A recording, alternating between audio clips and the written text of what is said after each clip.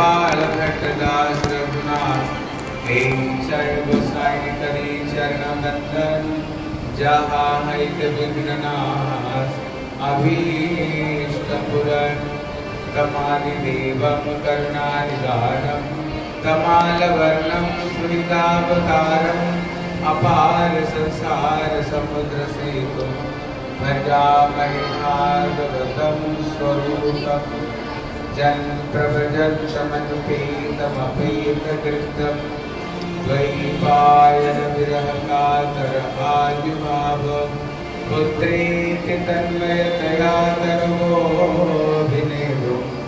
स्तं सर्वभूतहृदयं मुनिमायण तस्मिन् नारायणं नमस्कृतनरं चैव नरोत्तमम् देवीं सरस्वतीं व्यासं ततो जयमुदिरये श्रीकृष्ण चैतन्य प्रभु नित्यानंद श्री अद्वैत गदाधर श्रीवासदि गौर भक्त वृंद।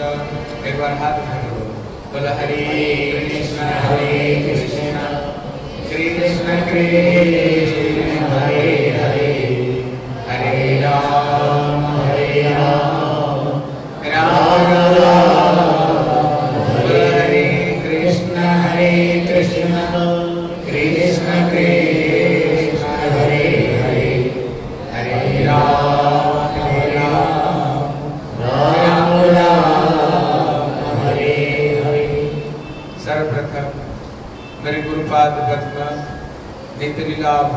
विष्णुपाद अष्टोत्तर सदश्री श्री श्रीमद भक्ति स्वरूप सिद्धांति गोस्वामी महाराज के चरणों कमलों में अनंत कोटि साष्टांग भगवत प्रणाम करता हूँ।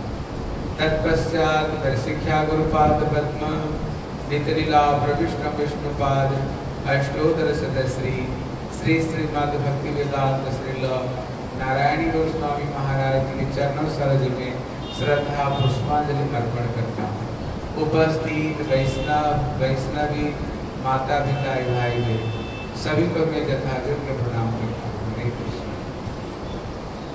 हम लोग गत कल हम लोग श्रवण कर रहे थे श्रीमती राधा रानी कैसे ब्रज में जन्म लेती है। इसलिए कुछ कुछ लोगों का शंका है जैसे वृंदावन में जाओ देखना कोई कृष्ण कृष्ण नहीं बोलते। क्या बोलते हैं? ज़ोर से बोलो। इतने ज़ोर से राधे राधे बोले लाइट हरे कृष्ण इसलिए वृंदावन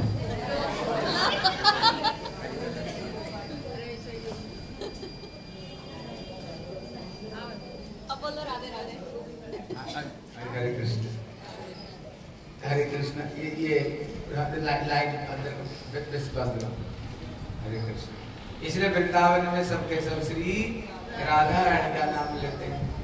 बल आप इतने राधे राधे बोलते हो फिर भागवत में राधा जी के नाम फिर क्यों नहीं? लोगों का प्रश्न है। लेकिन हमारे महाप्रभु के जो भक्त लोग बोलते हैं बोले भागवत में तो राधा जी के अलावा और कोई नाम है ही नहीं। इसलिए जो ग्रंथ हम श्रवण कर रहे हैं ये ग्रंथ का नाम क्या है? कौन सा ग्रंथ सुन रहे हैं? हाँ आप लोग सब पंडित हो गए। इसलिए ग्रंथ का नाम है श्रीमद भागवतम। बोले, श्रीमद का मतलब क्या है? बोले श्री मतलब श्रीमती राधा रानी मत मतलब प्रेम। ये भागवत नहीं, ये राधा रानी का प्रेम ही ये भागवत है। हम कथा नहीं सुन रहे हैं। जब राधा रानी कृष्ण प्रेम में दीवानी बन करके, जब कृष्ण भक्ति रस को, वो जो मिलाती हैं यदि ये श्रीमद भागवतम। इसलिए भागवत का जो पहला श्लोक हाँ? इसलिए श्री सुखदेव गोस्वामी सबसे पहले अपना गुरु जी को प्रणाम किया। इसलिए नियम है ना प्रथम तो गुरु पूज्यम ततश्चैव ममार्चन कृष्ण कहते हैं, सबसे पहले गुरु जी को प्रणाम करके फिर मेरी पूजा करनी चाहिए। इसलिए बोले श्री सुखदेव गोस्वामी का गुरु को नहीं है? बोले श्री सुख, श्री मतलब श्रीमती राधा रानी सुख मतलब ये जो तोता है वो राधा जी की ये प्रिय तोता है। जिसको राधा रानी अपना हाथ में बैठ ला करके आनार की दाना खिलाया करती थी, कृष्ण नाम पढ़ाया करती थी। कभी कभी श्री राधा रानी, श्री सुखदेव गोस्वामी को श्री कृष्ण स्वरूप मान करके कभी कभी उनको चुंबन करते थे। इसलिए राधा रानी की जो अधरा मृत ये तोता के मुँह में लगी इसलिए वहाँ पर अठासी हज़ार ऋषि लोग तो थे। कोई सौ साल का, कोई दो सौ साल का, कोई पाँच सौ साल का, हज़ार साल का। लेकिन कथा सुने तो किससे कथा सुने? अरे सबसे छोटे बालक जिसका कहीं आता है बारह साल का, कभी आता है सोलह साल का, नंगे धड़ंगे शरीर में कपड़े नहीं, है? और इनसे ही कथा सुने। और वहाँ पर जटा जोटधारी हज़ार हज़ार साल के लेकिन कथा सुने श्री सुखदेव गोस्वामी को बोले क्यों? बोले ये राधा रानी की प्रिय सुख है और इनकी थोट में राधा रानी की अधरा लगी हुई इसलिए इनकी जो कथा है बड़े रसयुक्त कथा इनकी है हाँ, बड़ी रसीले कथा इनकी है। इसलिए तब नियम क्या है? पहले अपना गुरु जी को वंदना करनी चाहिए। इसलिए श्री विश्वनाथ चक्रवर्ती ठाकुर कहते हैं जो पहला जो श्लोक है सबसे पहले श्री सुखदेव गोस्वामी अपना गुरु जी को सबसे पहले उन्हें प्रणाम करते हैं। पहले मेरे गुरु जी कौन है? बोले श्री राधा रानी। ये ये बच्ची किसकी बच्ची है? इस, इसको इसको पीछे लेकर बैठो नहीं तो घर में लेकर जाओ। नहीं तो इसको गोद में लेकर बैठो। इसको कहीं छोड़ना नहीं तो गोद में बैठे बैठो गोद में लेकर बैठो। नहीं तो इसको घर में लेकर जाओ, बाद में ले आओ। कृष्ण राधा रानी की इसलिए कहते सबसे पहले श्री राधा रानी की उन्होंने चरण वंदना कर दी बोले, राधा रानी कौन है? बोले जन्मा दस्य जत। बोले, जिनसे ये सारे रस प्रकट होता है, हैं? इसलिए सारे रस का जो मूल स्वरूप है श्री राधा रानी, है? इसलिए सबसे पहले श्री पहला श्लोक से राधा की चरण की वंदना करते हैं। बोले श्रीमती राधा रानी की जय। कल हम सुन रहे थे जब रासलीला का जो पहला श्लोक है, जब सुखदेव गोस्वामी शुरुआत करते हैं, बोले, भगवान, अपी तारात्रि, शरद उत्फुल्ल मल्लिका भिक्षरंत मनश्चक्रे। जोग मायांगमुपाश्रिता जब भगवान रास प्रारंभ करते हैं, आप कभी रास देखे होंगे? तो राधा रानी सिंहासन में बैठी अविरास प्रारंभ होगी तब श्याम सुंदर जा करके राधा रानी से प्रार्थना करते हैं। बोले, हे किशोर जो रास प्रारंभ है, गए है आप कृपा करके रास में पधारो। क्यों? राधा रानी रासेश्वरी। इसलिए रास की मालिक यानी कौन है? श्री राधा रानी। इसलिए जब रास हो रही थी वहाँ पर सबके सब गोपियाँ थी, कृष्ण भी स्वयं थे। लेकिन जब श्री राधा रानी मान करके चली जाती है ना, वो रास बंद हो गया। वो रास नहीं, वो रास वहीं पर बंद हो गई वहाँ भी कृष्ण थे, चंद्रावली थी, ललिता, विशाखा, सब सखियाँ थी, लेकिन राधा के बगैर रास असंभव हैं? और उसमें श्री सबसे पहले श्री जोग माया उपासिता कहते, भगवान, जो रास प्रारंभ की, किसको आश्रय करके श्री जोग माया मूल जो जोग माया, श्री राधा रानी, हैं? जब फिर, जब गोपियों ने फिर गोपी गीत को गाई। गोपी गीत को गाने पर कृष्ण रह नहीं सके। फिर कृष्ण को साक्षात मनमथ का मनमत रूप लेकर के मदन मोहन रूप कृष्ण गोपियों को बीच में प्रकट होते हैं। जब प्रकट हुए, इतने में कुछ सखियाँ तो कृष्ण के चरणों पर जाकर पकड़। ली कुछ तो कृष्ण को गलवा ही नहीं आती कुछ तो कृष्ण को तांबुल मारने लग गए। किसने उनकी चुनरी को पकड़ लिया? लेकिन एक गोपी थी जो पास में फटक नहीं रही थी। वो गोपी दूर से तेरछी चितवन से कृष्ण को तरफ़ में भ्रुकुटी माबाद्य मतलब बड़ी टेढ़ी नज़र से रात्रि श्याम सुंदर को देख रही थी। लेकिन कुछ गोपियाँ थी जो दूर में खड़ी हुई थी। खड़ी होकर के वो सब के सब देख रहे थे। लेकिन कृष्ण का जो नज़र है ना, जो चरण पकड़े, जो हाथ पकड़े, जो प्यार पकड़े, कृष्ण का नज़र कहीं नहीं। कृष्ण का नज़र तो एक गोपी जो दूर में खड़ी होकर के तेरे से चित्तवर से कृष्ण को देख रही थी, केवल नज़र उस तरफ़ और दूर में जो कुछ गोपियाँ खड़ी थी, बोले, ये कौन है? बोले, ललिता, विशाखा, चंपक, लता, ये सब ये सब सखियाँ हैं। ये सखियाँ श्री राधा रानी की महिमा को देख रहे थे। भले कोई चरण पकड़े, प्यार पकड़े, लेकिन हमारे श्याम सुंदर का नज़र किसके प्रति? बोले, केवल श्रीमती राधा रानी का प्रति नज़र है। देखो कृष्ण, हमारी राधा रानी कितने सौभाग्यवान है। इसलिए यहाँ पर कहती है, गोपी कौन है? जो बड़ी तिरछी नज़र से कृष्ण को देख रही थी। बोले, ये श्रीमती राधा रानी बोले, श्रीमती राधा रानी जब गोपियाँ गोपी गीत गाती हैं, ये जो पहला जो श्लोक है बोले जयती जन्मना ब्रजा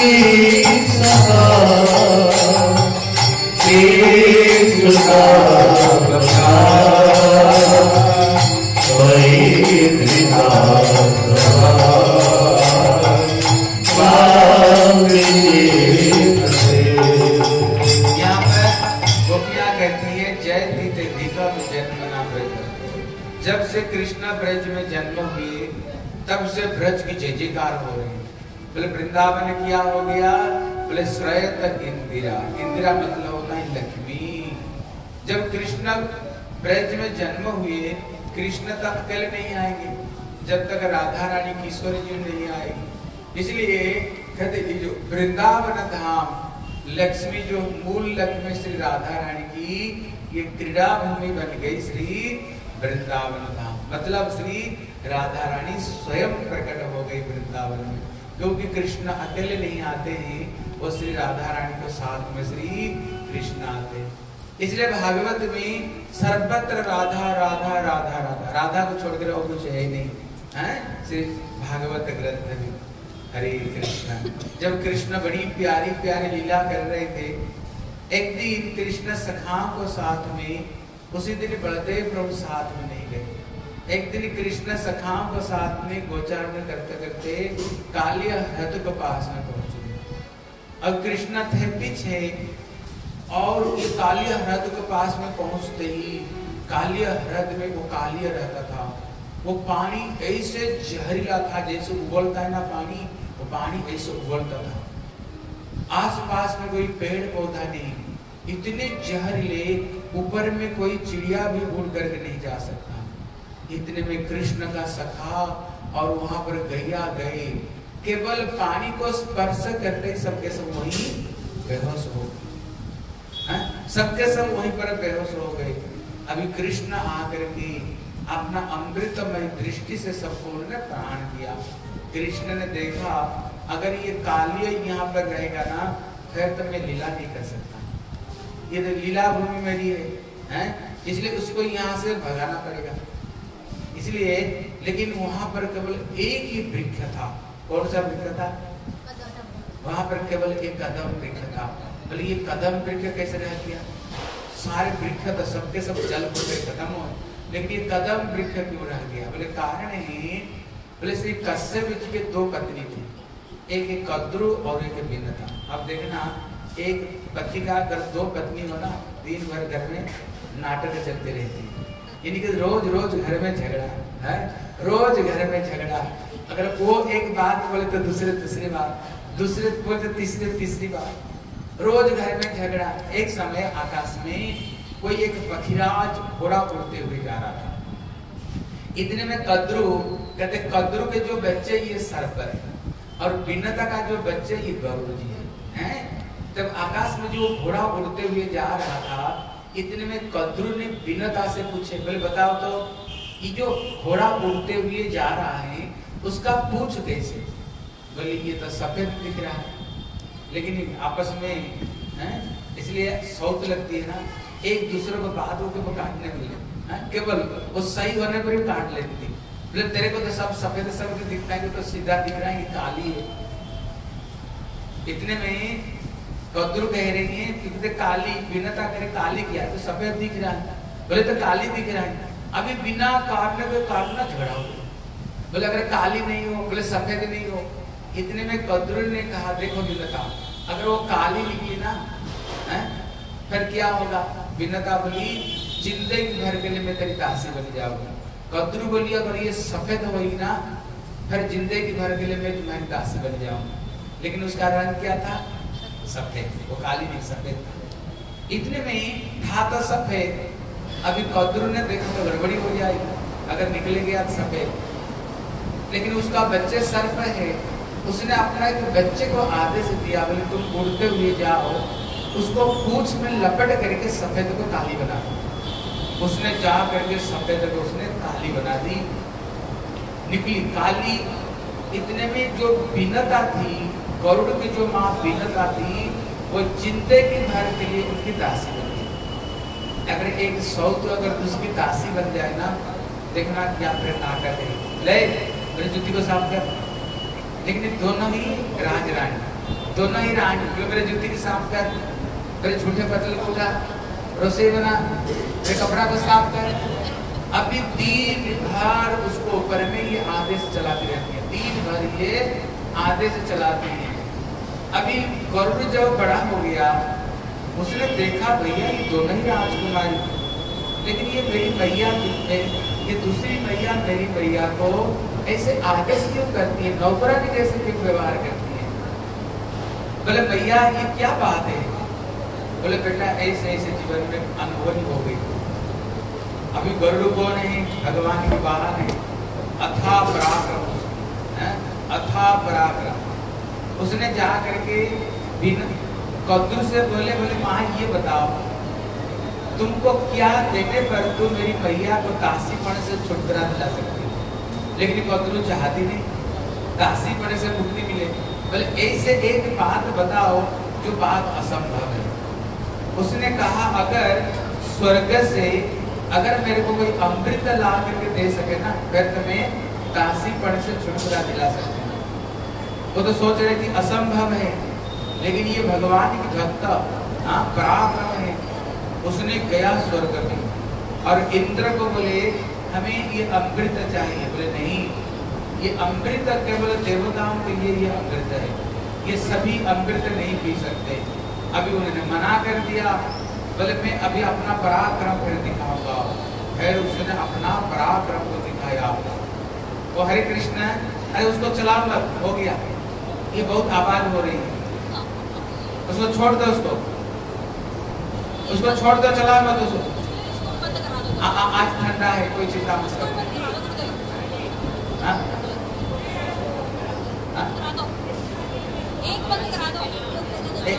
एक ही पूरा चला देना हरे कृष्ण श्री वृंदावन बिहारी लाल की जय जय श्री उसने गरुड़ ने अपना पराक्रम को दिखा करके अमृत कलश को ज़ोर ज़बरदस्ती लेने के लिए गया। एक साथ में ये तैतीस करोड़ देवता गरुड़ को साथ में लड़ने के लिए तैयारी हो गई लेकिन वो तो भगवान की परम भक्त है। सबको अपना पंख से मार मार करके सबको उन्होंने परास्त कर दिया। परास्त करते हुए ज़ोर ज़बरदस्ती अमृत कलश को पकड़ा और लेकर के आने लगा। जब आने लगा, जब उन्होंने कलश को लाया था उनने चार जगह पर वो कलश को रखा है। इसलिए चार जगह में अभी देखोगे, वो सारे वृक्ष सत्य युग से अभी ज़िंदा है। एक तो वृंदावन में जो कदम वृक्ष है, वो कब कब कब से कब से कदम वृक्ष है?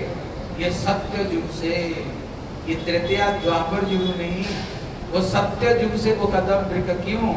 उन्होंने अमृत कलश को उस वृक्ष में रख लिया था। केवल उसमें टच हो गया तो वो वृक्ष अमर हो गया और कहाँ पर रखे? बोले कि नासिक में रखे। एक उज्जैन में और एक इलाहाबाद में। देखना, वो बारह साल के बाद में एक बार ये कुंभ मेला वही वहीं पर होता है वही वहीं पर कुंभ मेला होती है। और आप लोग कुंभ मेला में कभी गए हो? उज्जैन, हरिद्वार, नासिक, कोई गए हो? हरिद्वार गए हो? अभी हमारे पहले बार वो उज्जैन में कल ये कुंभ मेला हुई थी हमारे दिल्ली मठ से कुछ भक्त लोग गए थे। करीब बीस हज़ार रुपया दे करके प्लेन में गए, आए। और वहाँ पर बोले, हम पंद्रह घंटा लाइन में खड़े रहे। केवल एक डुबकी लगाए और पुलिस भगा रहे थे। एक डुबकी लगाने बाद पॉलिसी भगा रहे थे। देखो, क्यों? केवल वो अमृत कलश को रख लिया था। इसलिए केवल लोग जाते हैं। लेकिन जब श्रीमद भागवत कथा हो रही थी उसी समय देवता लोग पूरा के पूरा वो अमृत कलश को लेकर के आए। बोले, लो, ये पूरी की पूरी अमृत कलश ले लो। परीक्षित को पिला देना, अमर हो जाएँगे। लेकिन हमें थोड़ा ये भागवत की कथा अमृत को पिलाओ। लेकिन उन्होंने नहीं सुनाया, उन्होंने भगा दिया वहाँ से। हैं? बोले, कहा, कांच के टुकड़े दे करके मणि लेना चाह रहे हो? ये भागवत साक्षात भगवत स्वरूप है।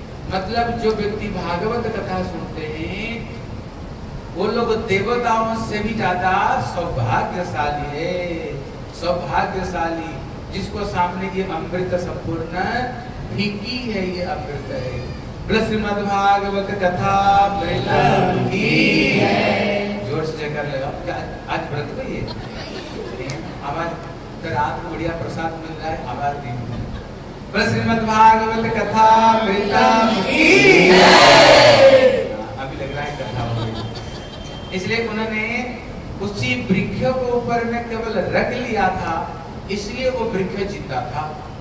इतने में कृष्ण ने सखाओं को कहा, देखो, जब गरुड़ ने अमृत लाया था, इसी वृक्ष को ऊपर में रखा था, हो सकता है एक आध वहाँ पर होएगी, तुम लोग यहीं पर खड़े रहो। अभी वो अमृत मैं लेकर के आता हूँ। तुम लोगों को खिलाऊँगा तुम भी अमर बन जाओ।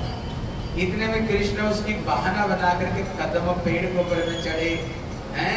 पेड़ के ऊपर में चढ़े। इसलिए हमारे श्री विश्वनाथ चक्रवर्ती ठाकुर कहते हैं, वो वृक्ष ज़िंदा क्यों था? एक कारण तो अमृत टच हो गया। दूसरा कारण क्या है? वो कोई कृष्ण भक्त था। क्यों? कहते ना वृंदावन के वृक्ष को मरम ना जाने कोई डाल डाल और पत्ते पत्ते श्री राधे राधे वो कोई कृष्ण भक्त था, कोई ऋषि मुनि था। वो भगवान का चरण स्पर्श पाने के लोग से वो वृक्ष रूप में वहीं पर भगवान आएँगे, मेरे ऊपर चढ़ेंगे। ठाकुर जी की चरण की स्पर्श हमें मिलेगा, है? इसलिए वो वृक्ष वहीं पर बैठ कर भजन कर रहा था। इतने में भगवान वो वृक्ष को ऊपर में चढ़े, कमरे में अच्छे तरह से घंटे को बांधे और उन्होंने कालिया को हद के ऊपर छलांग लगाए इतने ज़ोर से उन्होंने छलांग लगाए वो पानी कहते हैं, एक सौ धनुष पानी ऊपर में उछल गया। और उसको अंदर में ये काली गुफा बना करके उसके अंदर में निवास कर रहा था। इतने में उसको गुफा को अंदर में पानी घुस गया। और कृष्ण पानी में तैर रहे थे। बोले, भैया कौन है? आकाश में कोई चिड़िया भी उड़ करके नहीं जा सकते थे। आस पास में कोई पेड़ पौधा नहीं। ऐसे ये कौन है जो पानी में तैर रहा है? अभी उनकी जितने पत्नियाँ थी ना, वो सबके सब कृष्ण भक्त वो उसको पति को समझाया करते थे, कभी भी कृष्ण को साथ में बैर नहीं ठहरना। ये भगवान है। कालिया बोलता था, भगवान? गैया को पीछे पीछे डोलता रहता है। सखा उनको झूठन खाता है। हमने देखा सखा कभी उसको पछाड़ देते हैं। अरे भगवान हो गया। ये भगवान भगवान कुछ नहीं, ये गैया चराने वाले कोई ग्वाला है। इतने में कालियो तो अंदर से धीरे धीरे निकला। और कृष्ण को ऊपर में आक्रमण की, जब आक्रमण की, कृष्ण ने कह दिया, देखो, पहला चाँद से तेरा है। बाद में तू बोल सकते हो, मेरे को चांस ही नहीं दिया, है? इसलिए पहला चांस तेरा। जो कुछ करना तू करते उसने कृष्ण को एकदम लपेट लिया शरीर में, है? लपेट करके कृष्ण का जो मर्म स्थान है, गले में, मुँह में उसने दस मारे। लेकिन कृष्ण जान कुछ करके जैसे अचेतन होकर पड़ा रहा। क्यों? बोले, पहला चाँद से तेरा सेकंड चाँद से तेरा है। अभी जब कालिय को पकड़, कालिय कृष्ण को पकड़ लिया, इतने में जितने वहाँ सखा लोग थे ना जितने गए बछड़े थे, सबका प्राण तो भगवान है। जब देखा हमारे प्रभु को ही उन्होंने पकड़ लिए तो सबके सब वहीं पर बेहोश हो गए। कृष्ण गए। बेहोश हो गए तो इतने में ब्रज में ना बड़े अनहोनी होने लग गई हाँ? बड़े अनहोनी। कौए का का कर रहे थे, गिरधर चीख रहे थे, हैं? खून की बारिश हो रही थी। बोले, भैया, ये अपशकुन क्यों दिख रहा है ब्रज में? किसी सखा ने आकर के बोल दिया, बोले, कृष्ण तो कालिया हरज में कूद पड़ा और कालिया ने कृष्ण को पकड़ लिया है। इतना सुन करके सारे ब्रजवासी दौड़े काली हरत के पास में। जब गए, कैसे गए? बोले, भगवान, जब गैया चढ़ाया करते थे, भगवान जब चलते थे, भगवान की चरण में उन्हीं से चिन्ह है। कितना चिन्ह है? उन्हीं से चिन्ह है।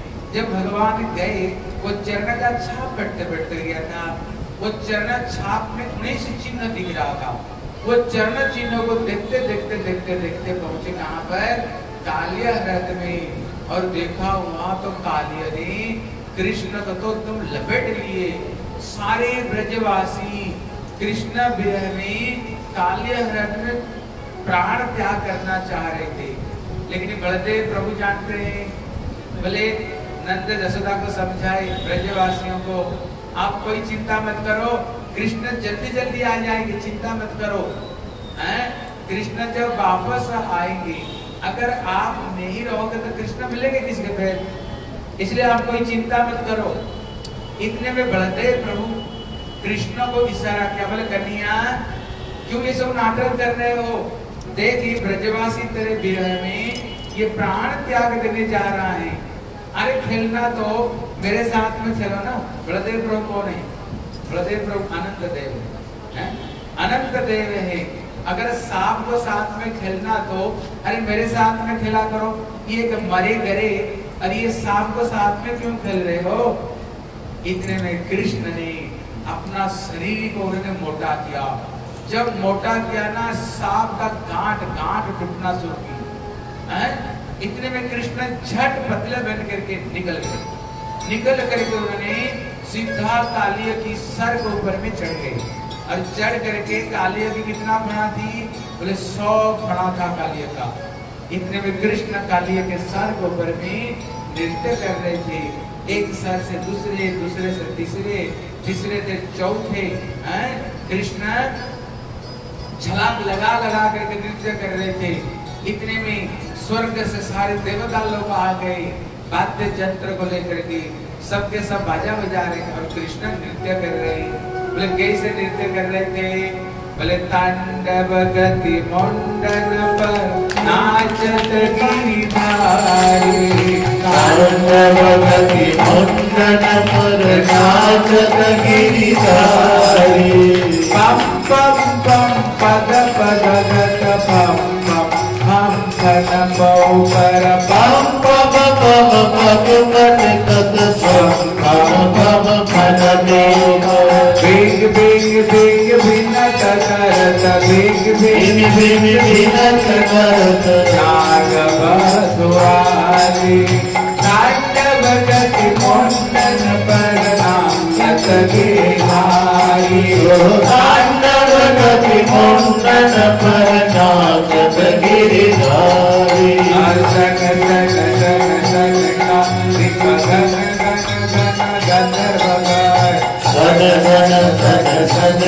कार्तिक घन घन गंधर्वादिक नाम नाम नाम नारद मुनि नम नम नम नारद मुनि नागवेदशाली तांडव गति मुंडन पर नाचत गिरिदा आतांडव गति मोहन प्रणात गिरिधारी बम बम बलिहारी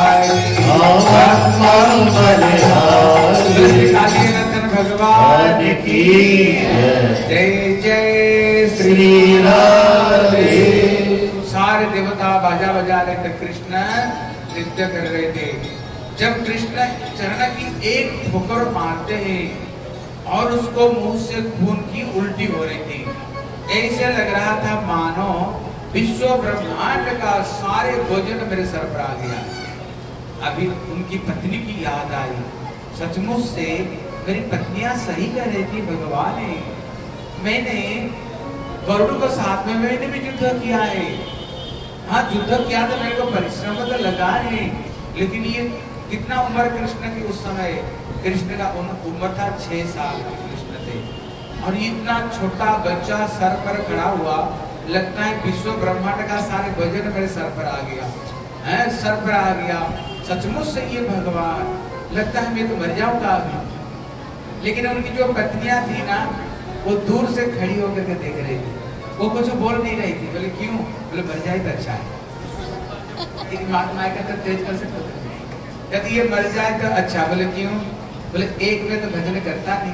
अरे हमको भजन करने भी नहीं करता इसलिए कहते, जिसके प्रिय ना राम वैदे ही त्यजियो कोटि बैर सम जद्य भी परम सने यहाँ शिक्षा देते हैं जिसके प्रिय राम और सीता नहीं है। जिस समय मीरा ने भजन कर रही थी, अब उसका पूरा परिवार विरोध है। जेठ ननद सास ससुर, सब उसका विरोध है। तो उसने गोस्वामी तुलसीदास को पास में पत्र लिखे। बोले, बताओ, अभी मेरे को क्या करनी चाहिए? तब श्री गोस्वामी तुलसीदास जी पत्र में इसको लिख बच्चे को बैठ कर रखे। इसलिए उन्होंने पत्र में ये श्लोक को लिख करके देते हैं बोले जिनके प्रिय ना राम वैदे ही त्यजियो कोटि बैरी सम यद्यपि परम सने बोले जिसकी प्रिय राम और सीता नहीं, वो परम स्नेह की पात्र होने पर भी कोटि शत्रु मान कर उसको त्याग दो। कोई प्रमाण है, बोले त्यजत पीता प्रहलाद। प्रहलाद ने अपना पिता को त्याग दिया। क्यों? वो भगवान के विरोध करता था और हमारे श्री भरत ने अपना मैया को त्याग दी। बोले, राम और सीता को तो तुमने वनवास में भेज दिया। अगर राम, अगर नाराज़ नहीं होता ना तेरे सर में काट देता आज से तेरे को मैं कभी मैया नहीं बोलूँगा। इसलिए हर समय उनको राजमाता कहते ही बोल करके बोलता था। मैया कभी उसने बोला नहीं। कहते, श्री विभीषण ने अपना भैया रावण को त्याग दिया। बोले, जगदम्बा जगत जननी माँ सीता को तुमने उठा करके ले आए, जहाँ वापस ले आओ। लेकिन उसने क्या किया लात मार कर भगा दी लेकिन हमने सब छोड़ करके प्रभु राम की शरण में आ गए। बोले, पत्नी, किसने पतियों को त्याग दिया? बोले, गोपियों ने अपना पत्नी, पतियों को त्याग दिया और जगत में इनके कल्याण कल्याण और श्री बलि महाराज ने अपना गुरु जी को बलि महाराज ने त्याग दिया और जगत जगत में इनका मंगल ही मंगल हुआ है हैं? इसलिए पत्नियाँ सोच मर जाए तो अच्छा है, क्योंकि तो भजन करता नहीं। अरे हमें भी भक्ति करने नहीं देता। है और ये जीवन तो चौरासी लख जन्मों के बाद में मिला। ये मानव शरीर तो बारंबार मिलेगा नहीं। और मिला क्यों? ये जीवन प्रभु की भजन के लिए दिया है। और जिस काम के लिए ये जीवन दिया, अगर इस जीवन में वो काम अगर नहीं हुआ तो प्राण रख क्या लाभ। इसलिए मर जाए तो अच्छा ही। लेकिन जब भगवान चरण की ठोकर को मार मार करके, जब उसको मुँह से खून की उल्टी होने लग गई, उसने देखा तो मैं मरने वाला हूँ। मेरी पत्नियाँ सही कह रही थी भगवान है। अब उसने मन मन में ठाकुर जी के चरण में शरणागत हो गया। जब शरणागत हो गए ना, पत्नियाँ दूर से देख रही थी, हैं? देख रही थी, अभी इसकी मन में शरणागति आ गई। ठाकुर के चरण में उनकी भावना बढ़ गई। बोले अभी पति पति रहनी चाहिए। बोले, क्यों पति रहनी चाहिए? क्योंकि अभी वो भक्त बन गया है। और दूस- दूसरी कारण बता रहे कि जो नाग पत्नियाँ देखने में बड़ी सुंदर थी। अगर किसकी पत्नी बहुत ही सुंदर हो, अगर पति अगर कम उम्र में मर जाए, फिर क्या होगा बताओ? वो स्त्री को ऊपर में दूसरे पुरुष लोग फिर बुरे नज़र से देखना शुरू कर देते हैं। अगर पति होना, फिर दुनिया को पता चलता नहीं, इसको आश्रय देने वाले कोई है? फिर उसको ऊपर कोई बुरे नज़र नहीं डालते। हैं इसलिए उन्होंने देखा, अगर ये मर जाएगा ना, हम तो बड़ी सुंदरी हैं फिर दूसरा व्यक्ति आकर के हमारे ऊपर में बुरा नज़र डालेगा। फिर हमारे ऊपर आक्रमण करेगा। अगर पति अगर भजन करता है, ऐसे पति तो रहनी चाहिए। क्योंकि स्त्रियों के लिए बताया, ये एक लता है। लता क्या करता है? हर समय कोशिश करता है कोई एक आश्रय ग्रहण करे। इसलिए कहते स्त्रियों को बचपन में अपना पिता माता के अधीन में रहनी चाहिए। जवानी अवस्था में पति के अधीन में रहनी चाहिए। अब बुढ़ापा में बच्चों को अधीन में रहनी चाहिए। कभी भी स्त्रियों को स्वतंत्र रूप में शास्त्र बना किया है। स्वतंत्र रूप में कोई मत रहिए फिर तो गड़बड़ी तुम्हारे जीवन में। उदाहरण दिया, जैसे आटा को गूंद दिया। अगर घर की किसी कोने में रखोगे ना, चूहा खा जाएगा। अगर आटा गूंदा हुआ, आटा अगर छत में हो तो फिर कौवा खा जाएगा। कहते जो स्त्री जाती है, इसे स्त्री जाती है। कहीं भी रहेगा तो उसको कोई खा जाने वाली है। इसलिए हर समय उनको किसकी आश्रय में ही रहना शास्त्र का निर्देश दिए। अभी उन्होंने देखा, अरे, अब पति तो हमारे भजन, अभी तो भक्त हो गया अभी। अभी तो कृष्ण भक्त हो गया पति, फिर तो पति रहनी चाहिए। हाँ यहाँ प्रश्न है, भैया, इतना जो दुष्ट था फिर वो भक्त कैसे हो गया? इतना जो दुष्ट था वो भक्त कैसे हो गया? कारण है, उनकी जो पत्नियाँ थी कृष्ण भक्त, उनको कृष्ण की कथा सुनाया करती थी। वो जो कृष्ण कथा सुनाया करती थी, उसके हृदय में कृष्ण के बीज रूप में था। कृष्ण भक्ति बीज रूप में उसके हृदय में था। लेकिन भगवान जब उसकी चरण को स्पर्श की, उसकी सर के ऊपर चरण को दिया, वो चरण क्या है? जिस चरण को नाग पत्नियाँ कहती हैं कस्यानुभाव न देव विद्महे। हे प्रभु, हमारे पति ने ऐसे क्या, पुण्य कर्म किया है। जिस चरण को पाने के लिए बोले जद्यपि समाधि सुविधिरपि पश्यति नकब नखाग्र मरिची।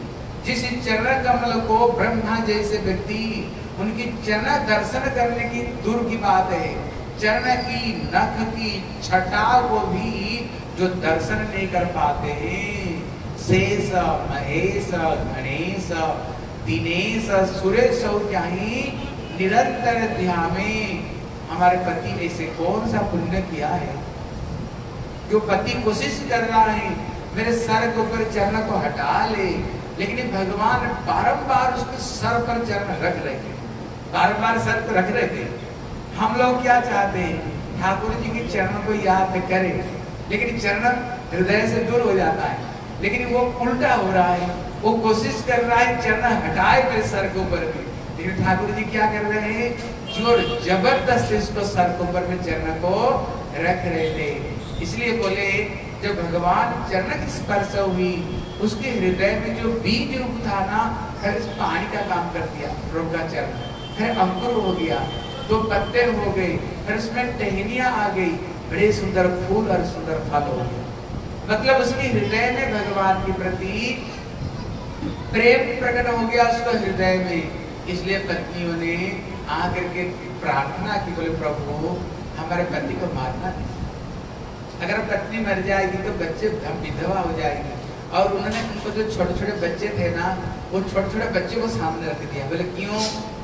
अगर पिताजी मर जाएगा तो बच्चों को कौन पालन करेगा? और बच्चे को देख करके बच्चे तो सभी के लिए बराबर है ना? इसलिए बच्चों को देख करके सभी के हृदय में दया की भावना आ जाती है। इसलिए उन्हें बच्चों को आगे कर दिया। बोले, प्रभु, ये बच्चे भी बच्चे, अगर पति मर जाएगा तो ये बच्चे हमें पालना कौन करेगा? जब प्रार्थना की ना, भगवान संतुष्ट हो गए। बोले, तुम्हारी पति को मैं नहीं मारूँगा। बोले, क्योंकि इसलिए नहीं मारूँगा, तुम लोग भक्त हो। तुम लोग मेरी भक्ति करते हो। लेकिन इसके हृदय में जो अहंकार था, अभिमान था, केवल ये अभिमान को भी दूर करना चाह रहा था, इसको मैं नहीं मारूँगा। इतने में भगवान ने कहा, कालिया, तुम यहाँ पर मत रहा कर, जाओ। तुम रमण देवी चले जाओ। वहीं पर जा करके रहा करो। क्योंकि अभी ये मेरी लीला भूमि बनेगी। यहीं पर मैं सखा को साथ में क्रीड़ा करूँगा। बोले, वहाँ पर गरुड़ मेरे को खा जाएगा। बोले, नहीं। मैंने जो चरण रखा ना मेरे तेरे सर के ऊपर मेरा चरण का छाप आ गया। अभी गरुड़ तुमको खाएगा नहीं अभी गुरु भाई बन गए। तुम भी मेरे भक्त गरुड़ भी मेरे भक्त। अभी दोनों गुरु भाई बन गए। अभी गुरु भाई होने का नाम तुम्हें वो खाएगा नहीं तुम्हें आदर करेगा तुम्हें आदर करेगा। तुम वहीं पर चले जाओ। इतने में भगवान ने बोले प्रभु आपके मर्म स्थान को मैंने दंशन किया काटा है, है? तो उन्होंने भगवान को बैठा करके संपूर्ण शरीर में चंदन अकुर कर्पूर की सुंदर रूप में लेप किया है। लेप करके भगवान को एक कौस्तुभ मणि प्रदान किया है। जो भगवान को पहचान कैसे बोले कौस्तुभ मणि में। बोले उन्होंने कौस्तुभ मणि प्रदान किया, बहुत कुछ रत्न प्रदान की। रत्न प्रदान करके भगवान को अपना सर पर बैठा करके उन्होंने किनारा में छोड़ दिए। बोले, हे प्रभु जैसे आप गरुड़ के ऊपर बैठते हो कभी कभी आप मुझे भी स्मरण किया करो कभी कभी मैं एक मुहूर्त में करोड़ों जोजन तक मेरी गति है, एक मुहूर्त में। मतलब इतने तेज़ी गति करने वाले। इसलिए प्रभु, कभी अगर आप जमुना में जल विहार करना चाहते हो ना, मेरे को स्मरण करना। मैं भी कभी सेवा की सौभाग्य मिलेगा। जब ठाकुर जी की इच्छा होता है, हम जमुना में जल विहार करें, तब उन्होंने श्री गरुड़ जी को श्री कालियों को स्मरण करते हैं और उसकी सर पर कृष्ण गोपियाँ बैठ करके ना कभी कभी जमुना प्रभु जी जल विहार करते हैं। ठाकुर जी जल विहार करते हैं। और भगवान अपना अमृतमय दृष्टि से पूरा जमुना पानी को उन्होंने पवित्र बना दिया और वो भगवान की लीला भूमि बन गई। हाँ देखो, यहाँ पर प्रश्न आता है ये कालिया ने इसे कौन सा पुण्य कर्म किया था, जिस वजह से भगवान इसकी सर को नृत्य किया? इसलिए हमारे पुराण में दो कथा आती है। पहला कथा आती है, कोई एक राजा था। याद है कुछ कथा? इसलिए सब कथा को नोट कर दीजिए तब तो याद रहेगा। देखते रहते हैं। इसलिए अच्छे जो स्टूडेंट होते हैं हर कथा भी नोट करते हैं। जैसे हम हर कथा जैसे सुना सकते इसलिए अभी उन्होंने इसकी दो कथा की है। कोई एक राजा था, वो राजा का पेट में बड़ा जंत्रणा होता था। उसने बहुत उन्होंने डॉक्टर दिखाया, सब कुछ कराया, लेकिन पेट दर्द सही नहीं हुआ। है? उसका पेट का दर्द सही नहीं हुआ। एक समय एक साधु ने कहा, देखो, वहाँ पर एक कबूतर रोज आता है। अगर तू ये कबूतर को पकड़ करके अगर तुम इसका मांस खा लोगे तुम्हारा पेट का दर्द सही हो जाएगा। वो क्या करता था? वो कबूतर को पकड़ने के लिए रोज दाना दे करके जाल बिछवाया करता था। लेकिन वो कबूतर पास में तो आता था, लेकिन वो जाल में नहीं फंसता था।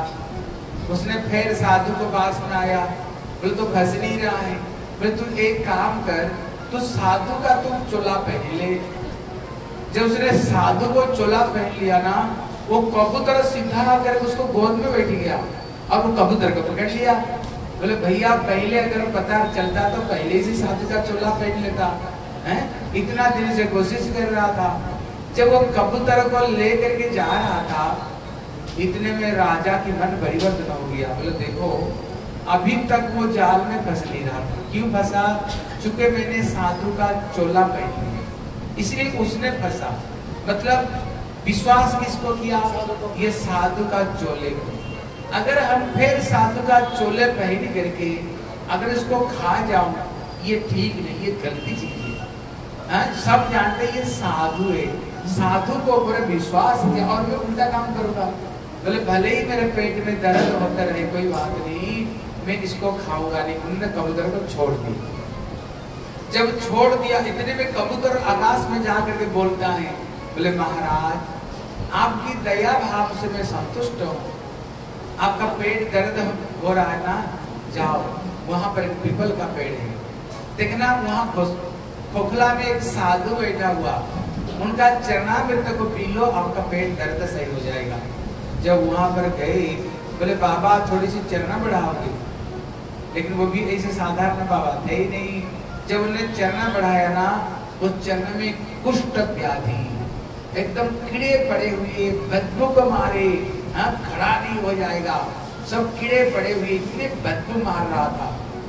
बोले, भैया चरणामृत कैसे लेंगे ये तो बदबू कीड़े चरण में पड़े हुए, कूड़ इसमें बोले, बाबा, दूसरे चरणों को भी थोड़ा निकालोगे। सोचा, दूसरा चरण भी अच्छा होगा। जब दूसरे चरण में निकाला ना, उससे भी ज़्यादा गया बेटा अभी उसने क्या करेगा? और पेट में 24 घंटा दर्द होता है। संतर ने बोले इनकी चरणामृत से सही होगा। सोचा किसी तरह से अपना चरणामृत ले लो। एक हाथ को नीचे रख दिए, दूसरे हाथ से जब उन्होंने चरणों को उन्होंने थोड़ी सी पानी डाल कर सोचा एक हाथ में पानी आ जाएगा, उसको मैं पान कर लूँ। जब उन्होंने पानी डाले ना, वो चरणामृत किया उनका जो प्यार में कीड़े और उसमें जो पीक था, वो कीड़े और पीक हाथ में गिरा और बड़ा बदबू मार रहा था। इतने में उसने उसको इसे फेंक दिया। फेंकते ही उसमें चंदन गुड़ कर्पूर की खुशबू निकलने लग गया, है? और उसने फेंक करके हाथ उसने अपना सर पर लगा दिया। इतने में साधु को बड़ा क्रोध आया, बोले, दुष्ट राजा, मेरे चरणामृत पियोगे मैं परीक्षा कर रहा था। मेरी चरणामृत में तुम्हारी कितने श्रद्धा है तुमने मेरी चरणामृत को अनादर किया। मैं तेरे को अभिशाप देता हूँ। तुम सर्प जोनी में जाओ। बोले, भैया, उल्टा हो गया। साधु की चरण में गिर पड़ा, रोने लग गए। बोले, बाबा, कल्याण कैसे होगा? उद्धार कैसे होगा? बोले, चिंता मत करो। तुमने मेरे चरणामृत को तो अनादर किए लेकिन वो हाथ बना अपना सर पर कर इसलिए एक दिन करे सर के ऊपर में भगवान स्वयं कृष्ण चंद्र नृत्य करेंगे तुम्हारे सर को ऊपर में। तभी तेरे को मुक्ति मिलेगी। इसलिए देखना हम लोग जब चरणामृत लेते हैं ना, क्या करते हैं? सर पर, चरणामृत लेके सर पर हाथ लगाते हैं। बोले, क्यों? बोले, भगवान की चरणामृत की बड़ी महिमा, इसलिए आप लोग रोज रोज आकर के ना चरणामृत लेना। उसमें बताया, अकाल मृत्यु हरणम असमय में जो मृत्यु को नष्ट हो जाती है सर्व व्याधि विनाशनम। सारे रोग, दुख, कष्ट खत्म हो जाती है। और विष्णु पाद तक पित्वा शिरसा धारणम।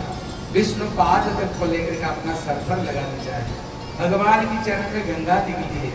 इसलिए चरणामृत में गंगा, जमुना, सरस्वती, नर्मदे, सिंधु, कावेरी सारे वस्तु चरणामृत में विद्यमान है। हाँ श्री ठाकुर जी की चरणामृत की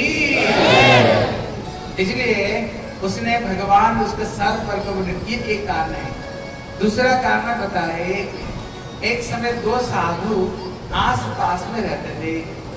एक साधु ने दूसरे साधु से मित्रता थी बोले, देव, मैं कुछ दिन के लिए तीर्थ भ्रमण करने जा रहा जब तक मैं नहीं आऊ ना, तब तक ये कुटिया को तुम देखते रहे बोले, कोई बात नहीं। जब वो चला गया तीर्थ भ्रमण करने के लिए, वो तीर्थ भ्रमण करके जब आया ना, देखा वो जो दूसरा साधु है, ये घर को भी दखल करके बैठा हुआ बोले, भैया, मेरे घर को दे दो। बोले, कौन सा तुम्हारी घर है? घर तुम्हारी कौन बोले, ये घर था ना? बोले, तुम्हारी कौन, तुम्हारे घर पर कुछ नहीं क्या यहाँ से अभी उसके अंदर में लड़ाई हो गई। तेरी मेरी करते करते लड़ाई हो गई। लड़ाई हो गई तो लड़ते लड़ते इतने ज़ोर तक गया, दूर तक जो साधु गया था तीर्थ करने के लिए, बोले, तेरे व्यवहार सर्प जैसे है। सर्प क्या करता है? अपना घर नहीं बनाता है। घर बना, कौन बनाता है? चूहा बिल कौन बनाता है? चूहा। सर्प क्या करता है? वो आ करके चूहा को तो भोजन कर ही लेता है और उसको घर में भी घुस जाता है। बोले, तेरे व्यवहार सर्प जैसे तेरे व्यवहार है। मैंने तुमको कुछ दिन के लिए रखवाली करने के लिए दिया और तुमने पूरा के पूरा मेरे घर को दखल कर लिया। तेरे को मैं अभिशाप देता हूँ तो सर्प जोनी में जाओगी वो भी तो साधु था, ये भी साधु था। उसने कहा मेरे को तुमने अभिशाप दिया सर्प जोनी में जाओगी। तू कौआ जैसे का का का का का का कर रहे हो। तू कौआ बनोगे। तो नहीं साधु है। दोनों का अभिशाप तो बर्बाद जाएगा नहीं। अभी दोनों ने जब एक दूसरे को सर्प बोल दिया, दूसरे बोले कौआ बने। अभी तो कौआ सर्प बनना पड़ेगा। अभी देखे भैया, अपराध हो गया। मेरे को भी सर्प बनना पड़ेगा, उसको भी कौआ बनना पड़ेगा। अभी क्या करे? दोनों दोनों ही साथ हो चले एक काम करो, ये ये अभिशाप को वरदान रूप में बदला था बोले, ठीक है। उसने दूसरे साधु ने कहा ठीक तुम तो सर्प बनोगे, लेकिन एक दिन तेरे सर के ऊपर में भगवान कृष्ण स्वयं देखते थे। इसी से उद्धार होगा। दूसरे ने कहा, तुम तो कौआ बनोगे, लेकिन साधारण कौआ नहीं को काग भूषणी बनोगे। काग भूषणी बन करके प्रभु राम कथा को तो नित्य निरंतर प्रभु की राम कथा सुनाओगे। जब भगवान की कथा सुनाओगे बड़े बड़े ऋषि मुनि लोग भी तेरी कथा को श्रवण करेंगे। दोनों दोनों को उन्होंने अभिशाप को उन्होंने वरदान रूप में बदला दिया। इसलिए आज भगवान कालियों को सर के ऊपर नृत्य करते हुए भगवान उसको ऊपर में कृपा की है। तुलसी वृंदावन बिहारी जय जय।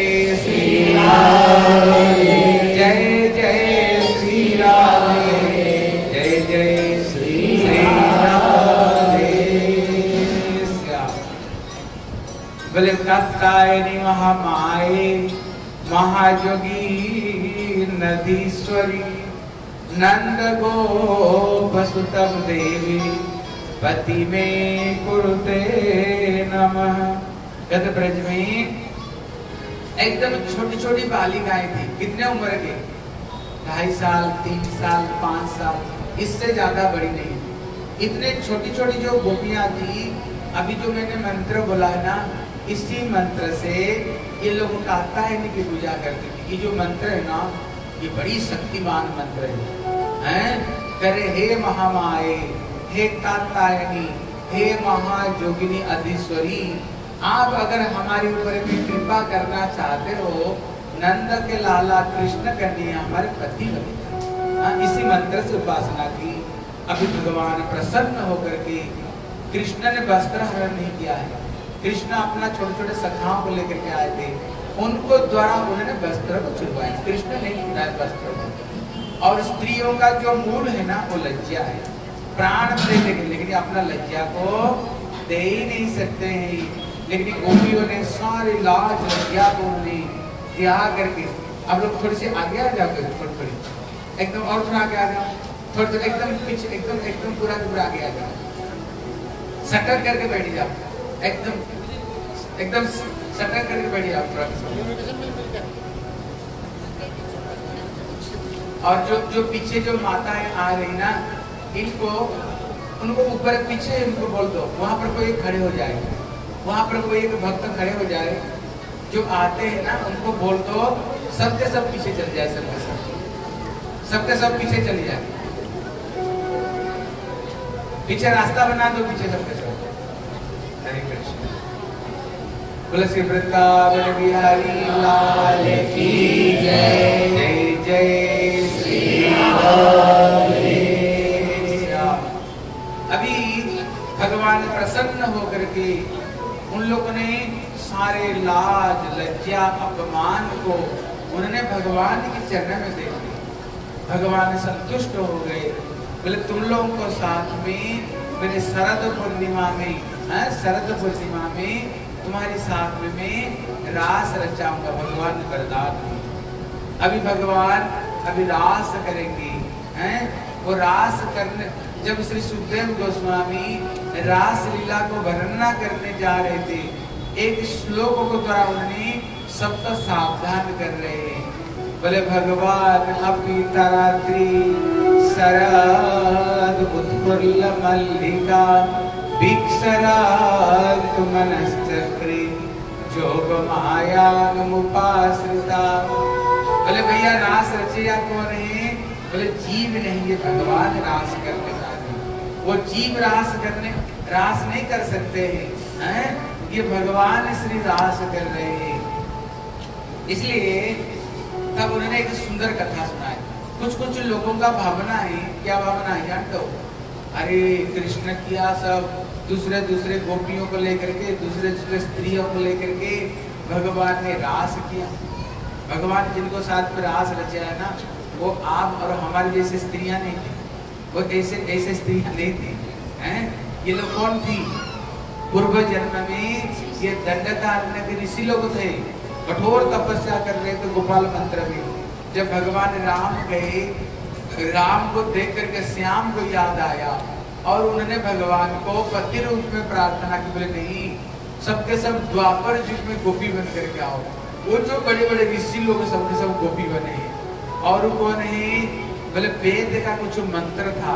ये मंत्र उन्हें साक्षात रूप में उपासना की। भगवान बोले, क्या चाहते हो?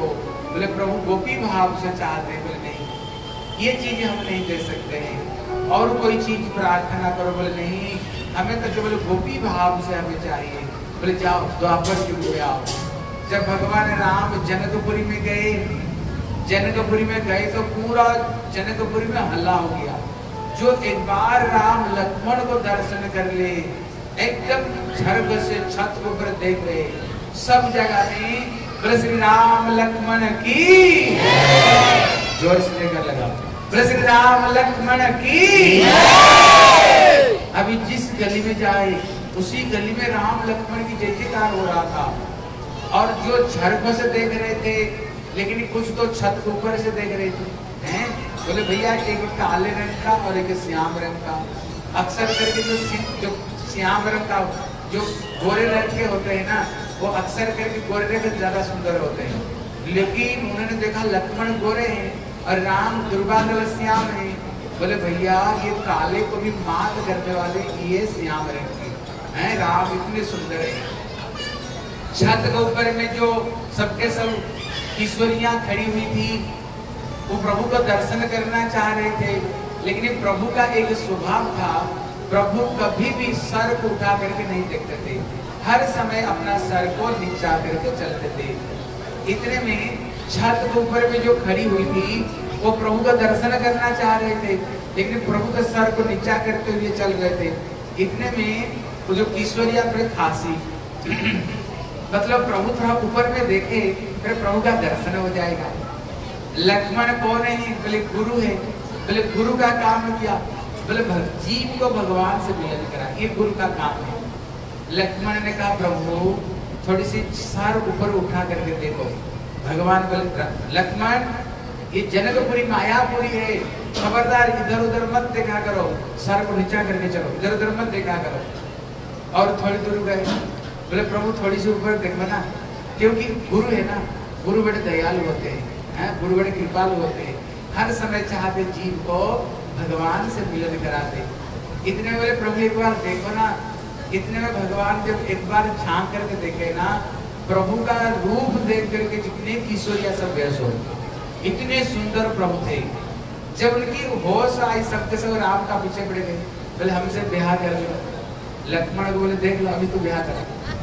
तेरे को पहले से सावधान कर रहे थे ऊपर देखना नहीं, बताओ अभी ब्याह कर लो। बोले, नहीं, इसी अवतार में नहीं। तुम सबके सब श्री द्वापर युग में गोपी बन करके आओ, तभी तुम्हारी इच्छाओं को मैं पूरी कर दूँगा। इसलिए ये ये सबके सब द्वापर युग में गोपी बन करके आए।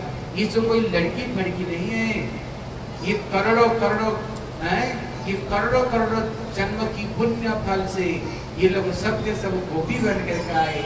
वो मतलब होता है इंद्रिया पी मतलब होता है बिना, जो नित्य निरंतर इंद्रियों को द्वारा कृष्ण भक्ति रस को जो पान करते हैं। भूख मतलब होता है पालन करना, भूख मतलब होता है रक्षण करना, जो इंद्रियों को द्वारा कृष्ण इंद्रियों को जो पालन करते, रक्षा करते ये कोई लड़कियाँ नहीं। इसलिए श्री, एक टीकाकार श्रीधर स्वामी हुए, वो कहते हैं भगवान की जो रास लीला नहीं कहती है काम विजय लीला है। क्या लीला है? ये काम विजय लीला है, उन्होंने काम के ऊपर विजय प्राप्त किया। तब उन्हें एक सुंदर उदाहरण देकर समझाया। बोले, एक समय श्री कामदेव का मन में अभिमान आ गया। बोले किस चीज़ की? बोले, सबको मैंने परास्त कर दिया। बोले, किसको किसको परास्त किया? बोले, ब्रह्मा जी को पिता ब्रह्मा जी। उन्होंने अपना एक बेटी को उन्होंने सृष्टि की, सरस्वती को। वो देखने में इतने सुंदर थी उनकी बेटी ना, वो अपना बेटी को ऊपर आसक्त हो गई हाँ बेटी को ऊपर आसक्त हो गई इतने सुंदर थी। बोले, ब्रह्मा जी को भी मैंने छका छुड़ा दी। बोले, शंकर जी, जोगी जोगी, महाजोगी देव देव महादेव, सत्यम, शिवम, सुंदर, इनको भी मैंने छका छुड़ा दी। बोले, कब? जब भगवान मोहिनी अवतार लिया था, सब देवता थे, लेकिन केवल शंकर जी नहीं। बाद में शंकर जी को पता चला, भगवान वही ने अवतार लिया था। क्या सुंदर रूप थे। सारे देवता बोल रहे थे ज़िंदगी में हमने इतने सुंदर रूप स्त्री देखा ही नहीं। क्यों ठाकुर जी ने लिया है ना? एक दिन शंकर जी ठाकुर जी से प्रार्थना की, बोले, प्रभु, एक बार वो रूप को देखा था बोले, कौन? बोले, वो बोले, बताओ ना कौन सा? बोले, वो रूप को। बोले, बताओ कौन सा रूप? बोले, मैंने सुना, आप समुद्र मंथन का समय में मोहिन रूप लिया था। बोले हाँ बोले प्रभु वही रूप देखा दो बोले शंकर जी ये तो राक्षस को मोहित करने के लिए रूप लिया था। इसलिए वो रूप को देख करके ना तो संभाल नहीं सकते। बोले क्या बोल रहे हो? मैं जोगी जोगी जोगी महाजोगी सत्यम शिवम सुंदरम हम क्या बता रहे हो? बोले हाँ शंकर जी मैं सही बता रहा हूँ। बोले प्रभु एक बार दिखा दो ना मैं देख लूँगा। एक दिन शंकर जी निर्जन में हाँ गोद में लक, लक, गोद में पार्वती को लेकर के त्रिशूल गाड़ करके बैठे हुए थे। जब शंकर जी त्रिशूल काट दे ना कैसे हटते नहीं। फिर पार्वती कम सुंदर नहीं, बहुत सुंदर बिगड़ नहीं। बहुत सुंदरी पार्वती। इसलिए कभी कभी शंकर जी कहते हैं, सुमुखी मतलब हे सुंदरी, मुँह वाले पार्वती। कभी कभी शंकर भी प्रशंसा करते तो बड़ी सुंदरी, बड़ी प्यारी है तू। लेकिन उनको उन्होंने गोद में लेकर के बैठे हुए थे, इतने में भगवान एक कुंज से मोहिनी रूप से प्रकट हो गए। दिन में लग रहा था जैसे चंद्रमा प्रकट हो गए क्या सुंदर। एक गेंद को उछालते हुए मोहिनी प्रकट हो गई। उन्होंने जब गेंद को उछाल रही थी ना, उछालते उछालते इतने में थोड़ी सी मोहिनी ने इशारा किया शंकर जी को। पार्वती गोद में बैठी हुई, इतने सुंदरी पार्वती, उन्होंने भूल गए पार्वती गोद में बैठी हुई। जब उन्होंने थोड़ी सी ऐसे इशारा किया ना, पार्वती को उन्होंने धक्का मार कर और जहाँ पर त्रिशूल काट देते वो हटते नहीं कहीं उन्होंने मोहिन को पीछे भगे और नंगे हो गए शंकर जी। नंगे शंकर जी हो गए। और उन्होंने पकड़ लिया मोहिन को, फिर देखा मोहिनी नहीं, दूर में फिर बुला रही पूरा उन्होंने छक्का छुड़ा दिया शंकर जी को। थोड़ी देरी बाद में जो होश आया ना शंकर जी देखे, भैया, मैं नंगे को घूरा फिर शंकर जी देखा, शायद कोई देखा नहीं। शंकर जी चुपचाप आकर बैठ गए। वो सोच रहे थे, कोई देखा नहीं। इतने में भगवान प्रकट हुए, बोले, क्यों शंकर जी? कहा बात है? शंकर जी तो शर्मिता में पड़ेंगे। बोले, प्रभु, तुम्हारी मोहिन रूप देख करके कोई अपने आप को स्थिर नहीं रख सकते। इसलिए कामदेव सोच रहा है, मैंने शंकर जी को भी मैंने चक्का छुड़ा दी। बोले, मैंने श्री कहते श्री विश्वामित्र जी वो तपस्या कर रहे थे जंगल पहाड़ के ऊपर में। वहाँ पर मेनका प्रकट हो गई। उनकी चरण की नुपुर की झंकार से उन्होंने सारे तपस्या तपस्या छोड़ करके घर बना दिए। हैं? इंद्र इंद्र को मैंने छका छुड़ाया। उन्होंने अहल्या के ऊपर आसक्ति हो गई। इतने दुख मिला, इतने दुख मिला इंद्र को, सारा शरीर में दर्द हो गया। बड़ी दुर्दशा उठाना पड़ा। बोले, नारद जी ये तो साक्षात माँ लक्ष्मी को ऊपर नारद आसक्त हो गया है? वो भगवान को अभिशाप दे दिया। इसलिए काम जब सोच रहा है, मैंने सारे जीवों को मैंने अपना हाथ की मुट्ठी में रख लिया। लेकिन एक व्यक्ति को बोले बाकी रह गया, बोले को बोले, कृष्ण, अगर इनको बसीबूत कर लो ना, फिर दुनिया मेरे हाथ की मुट्ठी में आ जाएगा। फिर तो परमात्मा भगवान में ही बनूँगा। एक दिन उन्होंने भगवान से चुनौती मांगी। बोले, प्रभु जी, आओ मेरे साथ में दो हाथ कर लो। युद्ध कर लो, हैं? मैंने सबको परास्त की। कृष्ण बोले, कोई चिंता मत करो। मैं जब द्वापर युग में कृष्ण अवतार में आऊँगा, तभी तेरे साथ में मैं युद्ध करूँगा। बोले, कृष्ण अवतार में जो रास करोगे, बोले हाँ। बोले, उसी समय युद्ध करोगे, बोले हाँ। काम देव तो हँसते हँसते चले गए। बोले, ये क्या युद्ध करेगा क्या? क्या युद्ध करेगा? क्योंकि, जानते हो गोपिया कितने सुंदर, सुन लो, गोपिया कितने सुंदर यदि ये पृथ्वी में जितने स्त्रियाँ हैं, उनकी सुंदरता को एक कर लो। जितने स्त्रियाँ जगत में सुंदरी कहते स्वर्ग में जो रंभा उर्वश मेनका सुनती है ना, एक रंभा को, उर्वश को साथ में भी बराबर होना कठिन है। इतने सुंदरी स्वर्ग की देवी। कहते स्वर्ग में जितने देवियाँ हैं, इनकी सुंदरता को एकत्रित कर लो। जा करके किसी लक्ष्मी को बराबर जा करके होती है। कहते, जितने अनंत लक्ष्मियाँ हैं, कहते, इनकी सुंदरता को एकत्रित कर लो, फिर जा करके एक गोपी को साथ में मिलता है। समझो, ये गोपियाँ इतने सुंदरी। कहते, सारे गोपियों की सुंदरता को एकत्रित कर लो। कहते, राधा रानी की चरण की नख की छटा में इतनी सुंदरता है। रघुनाथ दास गोस्वामी कहते हैं, उनकी चरण की छटा की अंदर में इनकी सारे सुंदरता समा जाएगी। इतने सुंदर श्री राधा रानी। बोले, श्रीमती राधा रानी। श्री वृषभानुराज नंदिनी की। जय जय जय जय श्री जय जय श्री इसलिए उस श्लोक में कहते ना, बोले मनिंद्र बिंद बंदिके त्रिलोक शोक हारिणी प्रसन्न भद्र पंकजे निकुंज भूमिलासिनी ब्रजेंद्र भानुनंदिनी ब्रजेंद्र सोनु संगते कदा करी सखी रमा कृपा कटाक्ष भाजनम। अनंत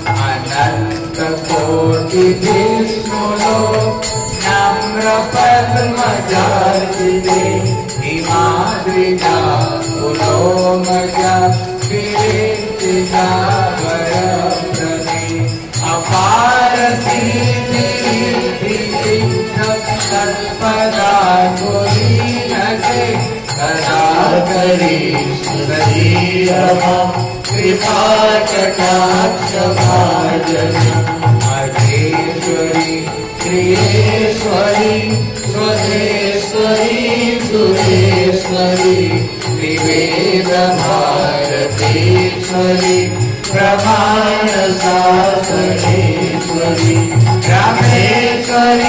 प्रमेश्वरि प्रमादधेश्वरि प्रदेश्ीरा श्रीरा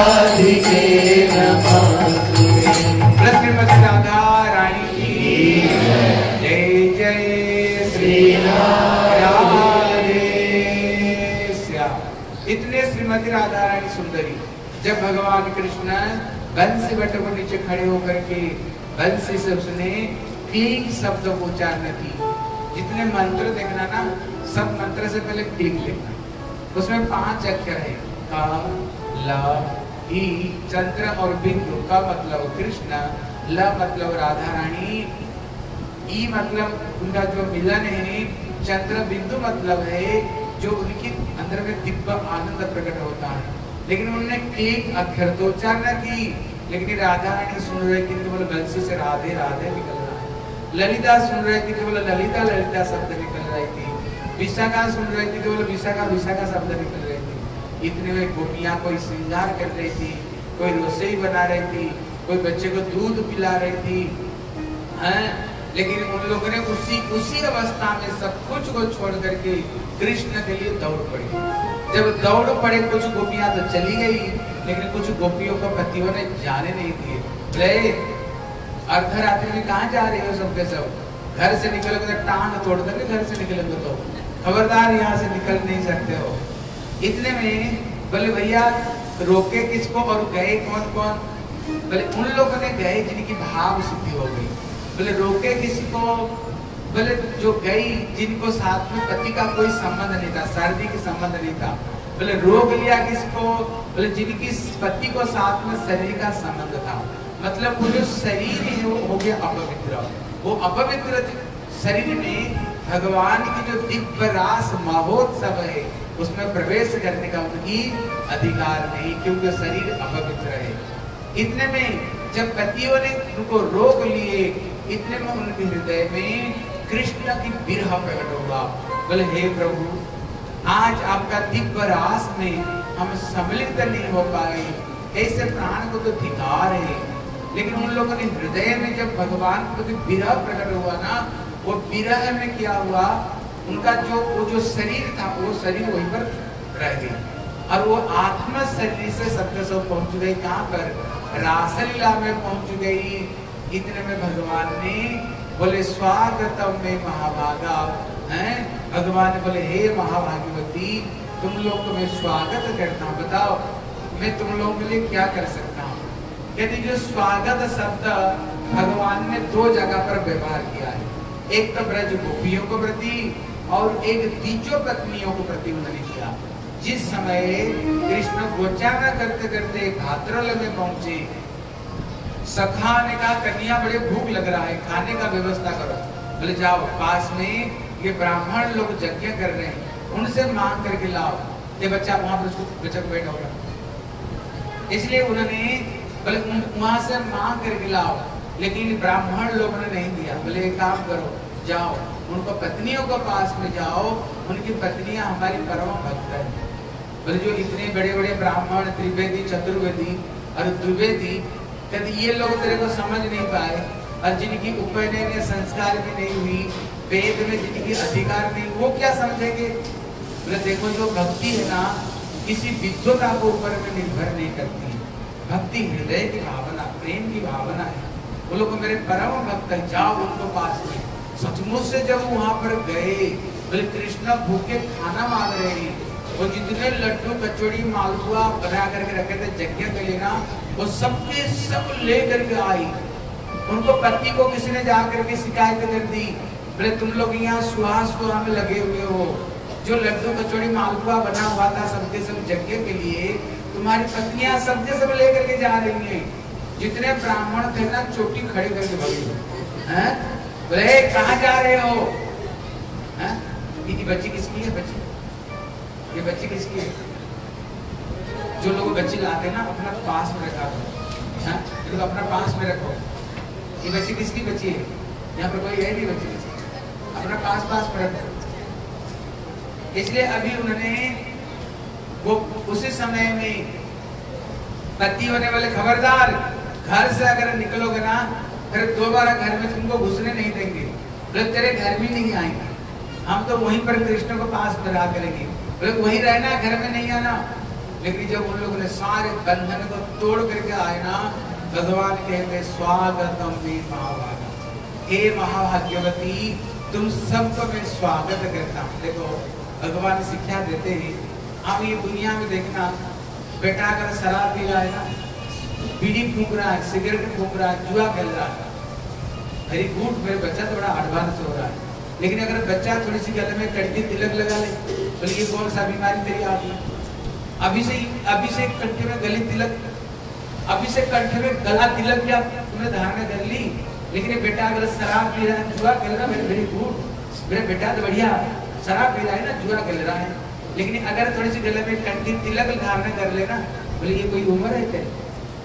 अभी से सब गला में कंठी तिलक तुम ये दुनिया ऐसे दुनिया है ना।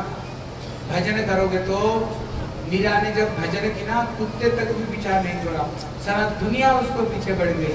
लेकिन मीरा ने गिरिधर का भक्ति उसने नहीं छोड़ी। दुनिया में अभी किसकी जय जयकार हो रही है? मीरा की हो रही है। मीरा की हो रही है। इसलिए शिक्षा देते हैं, बोले, भैया, जब तुम भक्ति करने के लिए जाओगे ना, सारा दुनिया तेरे पीछे पड़ेगी लेकिन एक दिन तो दुनिया तेरे से छूटेगा। तुम नहीं छोड़ने पर भी दुनिया तेरे को छोड़ देंगे। लेकिन भगवान भक्ति कभी मत छोड़ना। भगवान की भक्ति मत छोड़ना, दुनिया छूटेगा एक दिन। एक दिन शरीर त्याग लेना ही पड़ेगा, संसार से छोड़ना पड़ेगा, लेकिन भगवान की भक्ति का भी त्याग नहीं देना, है? रावण ने विरोध किया विभीषण को, अभी भी उसका पुतला जलाया जाता है। अभी भी कहा करोड़ साल पहले पुतला जलाते बोले, क्यों? चूँकि भगवान की भक्ति में उसने विरोध किया था। लेकिन विभीषण ने भजन किया तो अभी भी उनकी पूजा हो रही ठीक है ना? इसलिए भक्ति को पक्की बना कर रखना। है? मैं तो है गई तेरी दुनिया क्या जाने?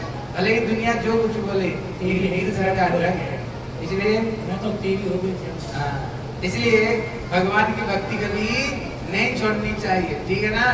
इसलिए भगवान कहते हैं उन लोगों को मैं स्वागत करता हूँ किसको स्वागत करता हूँ? जो लोग संसार का सारे बंधन को तोड़ करके मेरे पास में आते हैं मेरे सेवा के लिए आते हैं मैं सबको मैं स्वागत करता हूँ। इसलिए भगवान स्वागत में महाभागा। बोले, जगत में सबसे भाग्यवती कौन है? भाग्यवान कौन है? बोले, सारा दुनिया को ठुकरा करके जो मेरे शरण में आते हैं, वो तो जगत में सबसे बड़े भाग्यवान है। इसलिए भगवान ने कहा, अच्छी बात है, तुम लोग आए हो। बताओ तुम लोग मैंने क्या करो? देखो, ये घोर अंधकार रात्रि है, हिंस्र जंतु पशु है तुम लोग पतिव्रता नारी हो, जाओ, अपना घर में वापस चले जाओ। क्योंकि पतिव्रता नारी का कर्तव्य है, पति भले ही जैसे कि कुछ नहीं हो, उनकी सेवा करना ही ये पतिव्रता स्त्री के धर्म है। भगवान शिक्षा देते हैं, हर स्त्रियों को पतिव्रता धर्म को जागरण करते हुए पति की सेवा करनी चाहिए उनकी सेवा। हाँ। अगर पति अगर भक्ति की विरोध होता है, फिर कोई बात है लेकिन जो पति भक्ति की मदद करने वाले, भजन करने वाले उनकी अनुगत्य में स्त्रियों को रहनी चाहिए। भगवान ने बड़ी सुंदर उपदेश दिया। गोपियों ने कहा, देखो, तुमने जो इतने बड़ी सुंदर सुंदर उपदेश दिया है ना, जो उपदेश देते हैं, वो होते हैं गुरु। नियम है प्रथम तो गुरु पूज्य पहले गुरु जी की पूजा करनी चाहिए। जब उन्होंने ये बात बताया ना तो कृष्ण प्रसन्न हो गए। प्रसन्न होकर के कृष्ण गोपियों के साथ में भगवान ने रास रचाई। एक गोपी, एक कृष्ण, एक गोपी, एक कृष्ण भगवान ने उनको साथ में दिव्य रास दी। लेकिन रास करते समय जो एक हाथ में काजल पहन करके आई थी, ठाकुर जी दूसरे हाथ में पहना दिए। जो आधा कपड़ा पहन करके आई थी, ठाकुर जी उनको पूरे कपड़ा पहना दिए। जो गले की हार को कमरे में कमर की करदन को गले में पहन ली थी। ठाकुर जी एकदम बढ़िया से श्रृंगार करते शिक्षा देते हैं, हमें अगर कोई सजा सकते हैं, अगर हमें कोई श्रृंगार करा सकते हैं, कौन करा सकते हैं? ठाकुर ही हमें अच्छे तरह से सजा सकते हैं ठाकुर जी। कभी कभी कृष्ण बोल रहे थे, थोड़ा चरण के बाद अगर पसीना आए ना कभी पसीना को भी पहुँच रहे थे। देखो, माताओं में एक दोष है। क्या दोष जानते हो? पति अगर बहुत ज़्यादा प्रेम करना फिर वो पर चढ़वे की। बोले, इनकी हमारी बगैर तो इनकी चलेगी नहीं। इतने प्यार कर रहे हैं। लेकिन गोपियाँ देख रही थी, केवल कृष्ण मेरे पास है। लेकिन कृष्ण सबको पास में थे। ये केवल ये राधा रानी ये चीज़ को देख रही थी। अभी राधा रानी की हो गई मान बोले, क्यों? बोले, कृष्ण सबका साथ में और कृष्ण मेरे साथ में इतने में राधा रानी मान करके रास त्याग दी। इतने में कृष्ण ने देखा जब राधा रानी चली गई, फिर भैया रास किसी चीज़ की है? उसी समय, है, कृष्ण रास को त्याग दे। अभी त्याग देने पर गोपियाँ कृष्ण विरह उन्मादनी हो गई। उन्मादनी होकर के लता, पता, वृक्ष, सबको वो पूछ रहे थे हमारे श्याम सुंदर को कहीं देखे हो? लेकिन कोई कुछ बोल ही नहीं रहे थे। इतने में पृथ्वी को पूछे, बोले, हे पृथ्वी तू तो सर्वत्र विद्यमान हो तेरे को तो पता होगा श्याम सुंदर कहाँ पर इतने में भगवान के चरण चिन्हों को देखा। बोले देखो देखो कृष्ण का चरण चिन्ह है। थोड़ी दूर गए तो देखा उनको दोनों को बीच में एक प्यारी सुंदर सी एक चरण चिन्ह है। इतने में बोले बोले भैया ये चरण चिन्ह किसकी है? लेकिन वहाँ पर तीन तरह का गोपियाँ थी। कुछ गोपियाँ तो राधा, राधा रानी की चरण की सेवा करती है जानते हैं राधा जी के चरण में क्या चिन्ह है? उसको देख करके वो प्रसन्न हो रही थी, खुश हो रही थी। लेकिन कुछ गोपियाँ जब लोग केवल कृष्ण की चरण की सेवा करती हैं, उनको पता नहीं राधा रानी के चरण में क्या चिन्ह है। वो तो देख करके दुखी हो रही थी। लेकिन सुखी कौन हो रहे थे राधा रानी पक्के वाले? और ये सुखदेव गोस्वामी कौन? वो राधा जी की ही तोताए। ये तो उन्होंने डिक्लार कर दी। जैसे दोनों पार्टी में लड़ाई होना जो पार्टी जीत जाती है, वो क्या करता है? संख बजा करके अपना पति का जय ध्वनि देता है। यहाँ श्री सुखदेव गोस्वामी कहते हैं, बोले, भले ही तुम लोग अपनी आप को जितने अभिमान मानते हो, अभिमान मानो, लेकिन देखो देखो तो सही, कृष्ण सब व्यक्ति रहते हुए कृष्ण किसको लेकर गए? बोले, केवल श्री राधा रानी को लेकर गए। बोले, श्रीमती राधा रानी इसलिए उन्होंने और थोड़ी दूर गए देखा राधा जी की चरण नहीं। इतने में, है? इतने में कृष्ण राधा रानी को श्रृंगार कर रही थी। इतने में कृष्ण ने कहा, राधे, चलो जल्दी जल्दी चले जाते गोपियाँ पास में आ गई।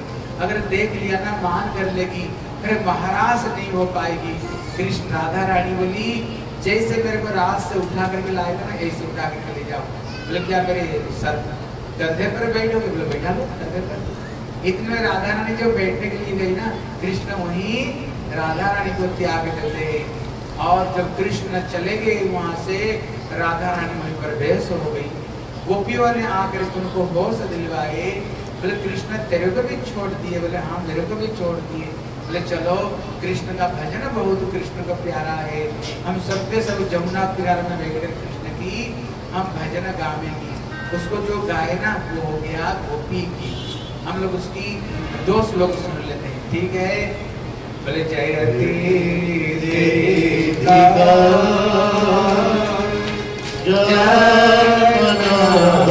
प्रजा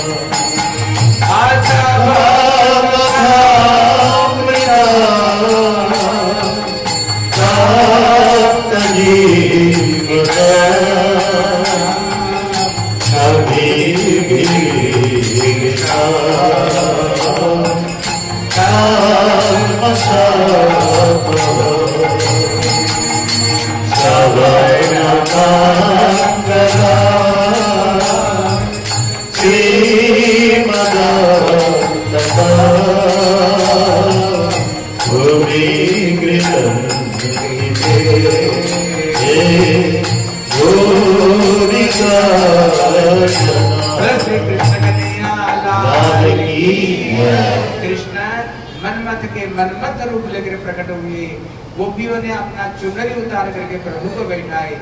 उन्होंने तीन प्रश्न किया है। बोले, प्रभु, जगत में तीन तरह का व्यक्ति। पहला नंबर है, भजन करने वालों को जो भजन करते हैं। दूसरे नंबर, करे नहीं करे तभी करते हैं। तीसरे नंबर है, करे नहीं करे, जिसका किसको साथ भी मतलब नहीं। बताओ, ये तीनों में तुम कौन हो? बोले, कृष्ण कृष्ण बोले, देखो, जो भजन करने पर भजन करते वो बढ़िया है। जैसे सौ रुपया लेकर दुकान में जाओ, सौ रुपया दिया, सामान दे दिया, उसमें कोई प्रीति की कोई कारण नहीं। पैसा दो, है, अपना माल लो। इसलिए उसमें कोई प्रीति की कोई भावना नहीं। दूसरा नंबर है, करे, नहीं करे, तभी करते हैं। बोले, ये कौन है? बोले पिता माता ये कौन है? भले देखना बेटा, बेटी, जितने नालायक क्यों नहीं हो जाए, लेकिन मैया क्या सोचती है? ये मेरे बेटा है, ये मेरी बेटा है। इसलिए मैया की भावना इतनी बड़ी पिता माता ये मेरे बेटे बोले एक समय को एक प्रेमी का अपना प्रेमी को बोले, देख, तेरे को तभी मैं प्रेम करूँगी, अगर तेरी मैया को मार कर उसका दिल अगर ला करके बैठ दो वो पागल हो गया। वो गया और उसकी बात सुन करके ना, अपना मैया को ही मार डाली। और उसका हृदय को लेकर के आ रहा था। आते आते हठात उसने ठोकर खा कर गिर पड़ा। जब गिर पड़ा उसके दिल से आवाज़ आ रही है। बोले, बेटा, तेरे को चोट तो नहीं लगा? मतलब मैया की जो हृदय है ना हमको भगवान कहते हैं, मैया की ऋणी कभी हम चुका नहीं सकते। हैं? मैया की ऋणी कभी चुका नहीं सकते। इसलिए पिता माता की सेवा करना हमारी कर्तव्य देखो, सब ध्यान देकर सुनो। जितने सांस है और जितने बहू है, देखो, ऐसे नहीं, हम घर में शादी होकर के आ गए और बेटे का कान में ऐसे मंत्र दे जिस पिता माता को बच्चे को जन्म दिया, गर्भ में लालना गर्भ में धारण की सुखी में सो कर, गिल्ली में सो करके बच्चे को सुखी में सुलाया, मुँह की आहार निकाल करके खिलाया ऐसे नहीं, दो दिन बाद में ऐसे अपना पति को मंत्र दे, अपना भैया पिता माता को ही सेवा छोड़ नहीं, ये चीज़ को ध्यान रखो। हम जैसे अपना सास ससुर को सेवा करेंगे हम भी कभी सास ससुर बनने वाले नहीं। हम जैसे सेवा करेंगे हमारी भी सेवा से होएगी। ये चीज़ को याद रखो। दूसरे चीज़ याद रखो, जितने बहु हैं, अपना सास को सास रूप में मत देखो। किस रूप में देखो? किस रूप में देखो? माँ रूप में देखो। और जितने सास है बहू को, बहु रूप में मत देखो। कैसे देखे? बेटी रूप में। फिर झगड़ा खत्म है। वो झगड़ा खत्म ही जाएगी। लेकिन ऐसे बहू आए, घर का सारे काम उसको थोप दो। नहीं, ऐसे नहीं करनी चाहिए, हैं? इसलिए ये चीज़ को हमें सावधान से ध्यान देनी चाहिए। और सवेरे उठकर क्या करनी चाहिए? बोले पिता माता की चरणों को छूनी चाहिए। देखो, हमारे जो बड़े गुरु जी थे ना, ध्यान देकर सुनो सबके सब हमारे जो बड़े गुरु जी थे, एक दिन किसने आ करके बोले गुरु जी बच्चा मेरा बात नहीं सुनता, बेटा मेरा बात नहीं सुनता। पहले थोड़ी बहुत कहीं तो सुनता था, लेकिन जब से शादी हो गया, पता नहीं पत्नी ने कान में क्या मंत्र दे दिया। और एकदम बात नहीं सुनते। हमारे बड़े गुरु जी ने कहा, बेटा, रामायण पढ़ते हो? क्या बोले, रामायण पढ़ते हो? बोले, नहीं। बोले, बच्चों को रामायण पढ़ाते हो? बोले, नहीं। बोले, जो व्यक्ति रामायण नहीं पढ़ेगा और बच्चों को रामायण नहीं पढ़ेगा, उसको यही दंड होगा। क्योंकि अगर रामायण खुद पढ़ते, है? खुद पढ़ते बच्चों को पढ़ाते, वहाँ पर लिखा हुआ है, प्रात उठ रघुनाथा, और मात पीत गुरु नमई माथा। भगवान सवेरे उठ करके क्या करते थे? पिता माता की चरण छुआ करते थे। रामायण देखे हो, जब दशरथ महाराज सैन्य करते हैं ना, भगवान राम स्वयं जाकर चरण की सेवा करते हैं। इसलिए इंडोनेशिया नाम सुने होंगे, वो मुसलमान कंट्री है। हमारे देश से मुरारी बाबू का नाम सुने होंगे वो हमारे देश से संतों को लेकर के रामायण सुनाते बोले, क्यों? बोले, इसलिए रामायण सुनाते हैं, हमारे बच्चे संस्कार करें सवेरे उठ करके पिता माता की चरण छुए और जो बेटा राम ने क्या क्या कहते ना रघुकुल रीति सदा चली आई, प्राण जाए बड़ू बच्चन न जाए। उन्होंने अपना मैया ने सौतली मैया की बातियों को रक्षा करने के लिए चौदह साल तक भगवान वनवास में गए। चौदह साल तक वनवास गए। अपना बेटे को बोलते, चौदह दिन के लिए कहीं जा, अपना मन मर्ज़ी से चौदह दिन के लिए घूमने जा सकती है। लेकिन पिता माता के आदेश पर चौदह दिन कोई आदेश पालन नहीं करेगा। भगवान राम ने दशरथ महाराज पिताजी की प्रतिज्ञा को निभाने के लिए उन्होंने क्या किया उन्होंने? उन्होंने क्या किया है? चौदह साल तक भगवान जंगल में चले गए। भगवान स्वयं जंगल में चले गए। इसलिए भाई भाई में कैसे मित्रता होनी चाहिए? भारत से शिक्षा मिलता है। उन्होंने राज्य सिंहासन को नहीं लिया। उन्होंने भगवान राम की पादुका को पूजा की। इसलिए और हमारे घर की बहू और बेटियाँ सती बन करके रहे। रामायण में शिक्षा मिलती है। क्योंकि भगवान राम ने सीता को वनवास तक भेज दिया। पूरा जीवन भर तक त्याग दिया। और सीता ने लास्ट में पाताल में प्रवेश की बोले, क्यों? भगवान जगत को शिक्षा देना चाहते हैं? स्त्रियाँ कैसे सती बन करके रहे इसलिए मुसलमान लोग, वो लोग ये रामायण पढ़ रहे हैं। कहते उनकी कॉलेज में रामायण पढ़ाई होती है। बोले, क्यों? बोले, इतने आदर्श चरित्र उन्हें दिखा कर गए इसलिए बड़े गुरु जी की बड़े गुरु जी हमारे, जो महाराज ना जो हमारे बड़े महाराज जी ये बात कहा करते थे। इसलिए, लेकिन हम क्या करते हैं? बच्चे, भले ही बच्चे को स्मार्टफ़ोन पकड़ा देंगे बीस बीस हज़ार। दस दस हज़ार। लेकिन बेटे को बोलेंगे नहीं, बेटा, थोड़ा रामायण पढ़, गीता पढ़, एक माला कर। बोल दो बच्चों को। स्मार्टफ़ोन पकड़वा दिया, जिससे ज़िंदगी बर्बाद हो जाए। उसी के लिए तो पूरा उपाय कर लिया। लेकिन बच्चे को बोलते नहीं, बेटा, कल भगवान के नाम भी जप कर, प्रभु का भक्ति नहीं कर ये बड़े गुरु जी सब कहा करते थे? इसलिए क्या करनी चाहिए? गीता, रामायण, भागवत को पढ़नी चाहिए। देखो मेरे नीचे हमारे बलराम प्रभु है, बलराम जी। इसलिए बलराम प्रभु जी इधर आ जाए बलराम प्रभु जी नीचे ना भूख स्टॉल को उन्होंने खोले हैं। आप लोग ज़रूर देखे कि बुक लेकर के जाना। पहले से आप सुनाया था और एक बार सुना देता हूँ। एक समय जो गीता जयंती आती है ना, गीता जयंती में अमेरिका में कुछ ईश्वर के भक्त लोग गीता बेच रहे थे। गीता बेचते समय उन्होंने करके आठ दस लड़के लाइन में खड़े हुए थे। गीता जयंती में गीता बेच रहे थे। एक व्यक्ति प्लेन से उतरा। तब उन्होंने बोले, भैया, गीता लो। बोले, ज़रूरत नहीं। ये सब गीता गीता कौन पढ़ता है?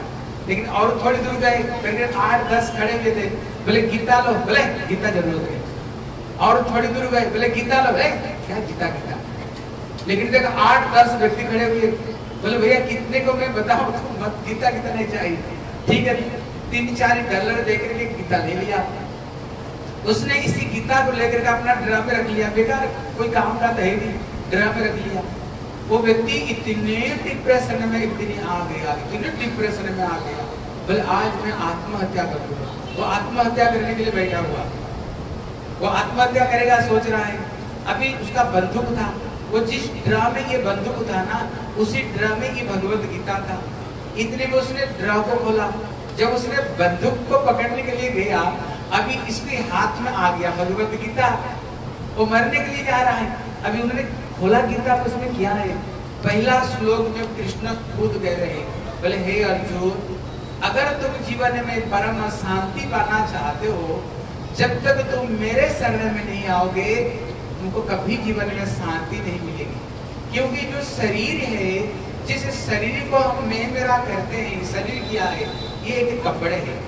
जैसे कोई कपड़ा पुराना होने पर उसको छोड़ करके हम एक नई कपड़ा धारण करते हैं, उसी तरह ये जो आत्मा है ये शरीर पुरानी हो जाने पर, ये शरीर को छोड़ करके आत्मा दूसरे शरीर में चली जाती है।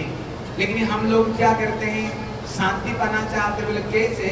बोले, ये शरीर को ब्यूटी पार्लर में लेकर इसको सजवाओ, इसको चपन प्रास खिलाओ, ये शरीर को सजवाओ।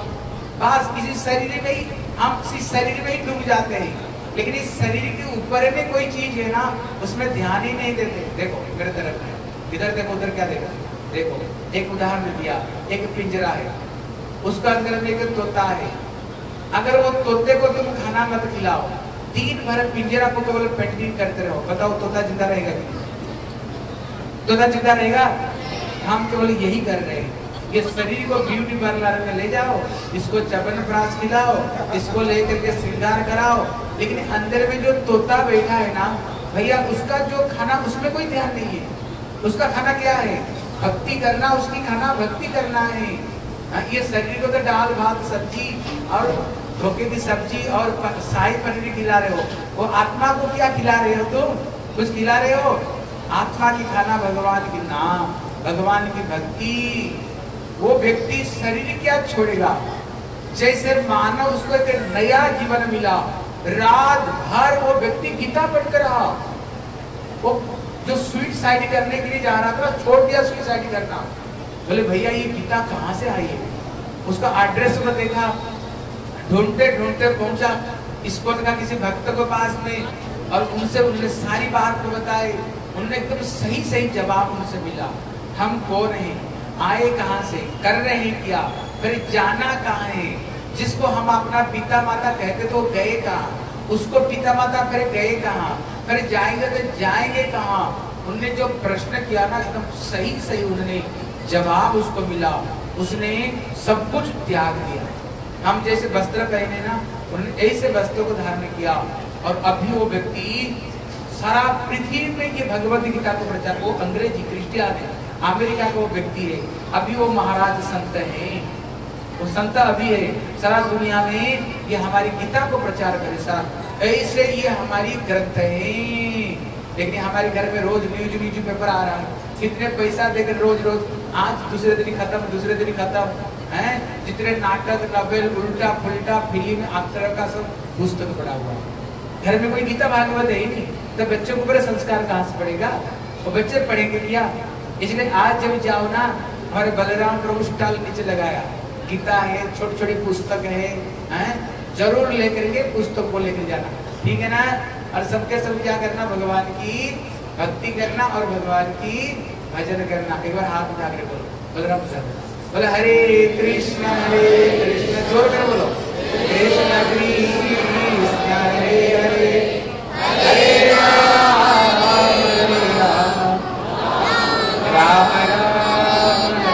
भगवान ज़ोर करके बोलो बोला हरे कृष्णा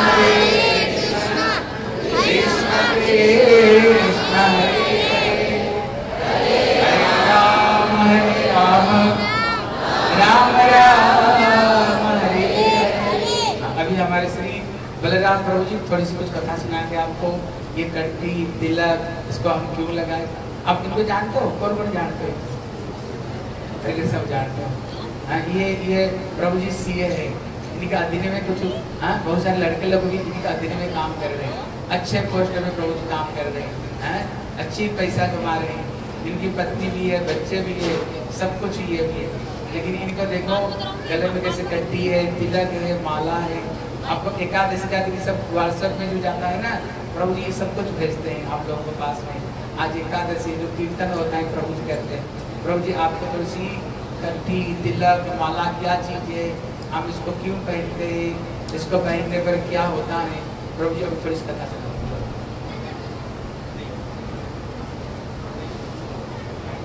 हरे कृष्णा।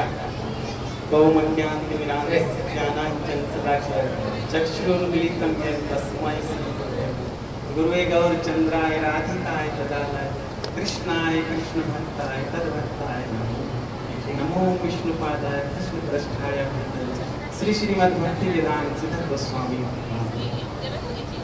सर्वप्रथम मैं अपने पूज्य पाद पर ओम विष्णुपाद अष्टोत्तर सत श्री श्रीमद भक्ति वेदांत श्रीधर गोस्वामी महाराज जी की श्री हर चरणारविंद में अनंत कोटि दंड प्रणाम ज्ञापित करता हूँ। तत्पश्चात श्री धाम वृंदावन से पधारे सभी भक्तों के श्री चरण कमल को दंडवत कोटि प्रणाम ज्ञापन करते हुए उपस्थित सभी वैष्णव और वैष्णवियों को यथा योग्य प्रणाम। हरे कृष्ण। ये हम लोगों का परम सौभाग्य है कि हम यहाँ पर बैठकर गुरुदेव के श्री चरणों का आश्रय लेकर भगवत कथा सुन रहे हैं। ये वास्तव में कोई एक साधारण बात नहीं है। गुरुदेव कहते हैं कि ये हमारे पूर्व जन्मों की सुकृति हैं, जो आज हम भगवान श्री कृष्ण की श्रीमद् भागवत कथा को श्रवण कर रहे हैं। अन्यथा, आप जानते हैं कि बड़ौद में कितने कितने लोग रहते हैं। लेकिन उसमें से आप लोगों को ये सौभाग्य मिला है कि आप यहाँ बैठ के भगवान की श्रीमद् भागवतम कथा को श्रवण कर रहे हैं। ये जो संसार है ये संसार एक भव सागर का बंधन है। हम सब जानते हैं। लेकिन इस भव सागर के बंधन से मुक्ति पाना हम सब चाहते हैं, लेकिन पाएँगे कैसे? कई बार तो क्या होता है कि हम लोग उसी परंपरा को आगे निभाते चले जाते हैं, जो परंपरा हमारे बड़े बुज़ुर्गों ने हमें सिखाई। जबकि हमें ये नहीं पता होता कि जिस परंपरा को हम आगे निभाना चाह रहे हैं वह सही भी है या नहीं? बस उसको निभाते चले जा रहे हैं। अभी देखो, मैं नीचे बैठा हुआ था तो सभी लोगों को मैं तिलक लगा के ऊपर भेज रहा था। तो वास्तव में देखो, ये तिलक देखने में ज़रूर शुरू शुरू में आपको अटपटा सा लगता होगा कि, अरे, एक तो ऊपर तिलक लगा दिया ऊपर से फिर नाक पे भी लगा दिया। बहुत लोग तो ये कहते हैं, भाई साहब, आपका तिलक रह गया नीचे को। कुछ लोग तो ये बोलते हैं, जबकि वास्तविकता ये है कि देखो, ये जो तिलक हमने अपने माथे पे ऊपर लगाया है, देखो मैं वास्तव में ये बात उन लोगों को विशेष रूप से बताना चाहता हूँ, जो आज यहाँ पे बिल्कुल पहली बार आए हैं। ये जो तिलक है, ये जो इस तरह से तिलक लगा है माथे पे, ये ठाकुर जी के चरण है। अर्थात हमने जो ये इस तरीके से तिलक लगाया, ये केवल एक तिलक मात्र नहीं रह गया, ये ठाकुर जी के चरण है। और चूँकि ठाकुर जी को तुलसी जी अत्यंत अत्यंत प्रिय हैं, इसलिए जो नाक पे हमने ये जो पत्ते नुमा आकृति बनाई है, वो तुलसी पत्ता है। इसका मतलब हुआ कि हमने ठाकुर जी के चरण में तुलसी दल अर्पण करके वो ठाकुर जी के चरण अपने मस्तक पे धारण किए हैं। तो इसलिए ये कोई साधारण तिलक नहीं रह जाता, ये एक दिव्य तिलक हो जाता है। अब इस तिलक की महिमा इतनी है कि यदि आप पहली बार अपने घर से तिलक लगा के और सब्ज़ी मंडी तक सब्ज़ी लेने भी आओगे तो कम से कम तीन व्यक्ति आपको बोलने वाले मिलेंगे, भैया, राधे राधे। ये इस तिलक की महिमा है।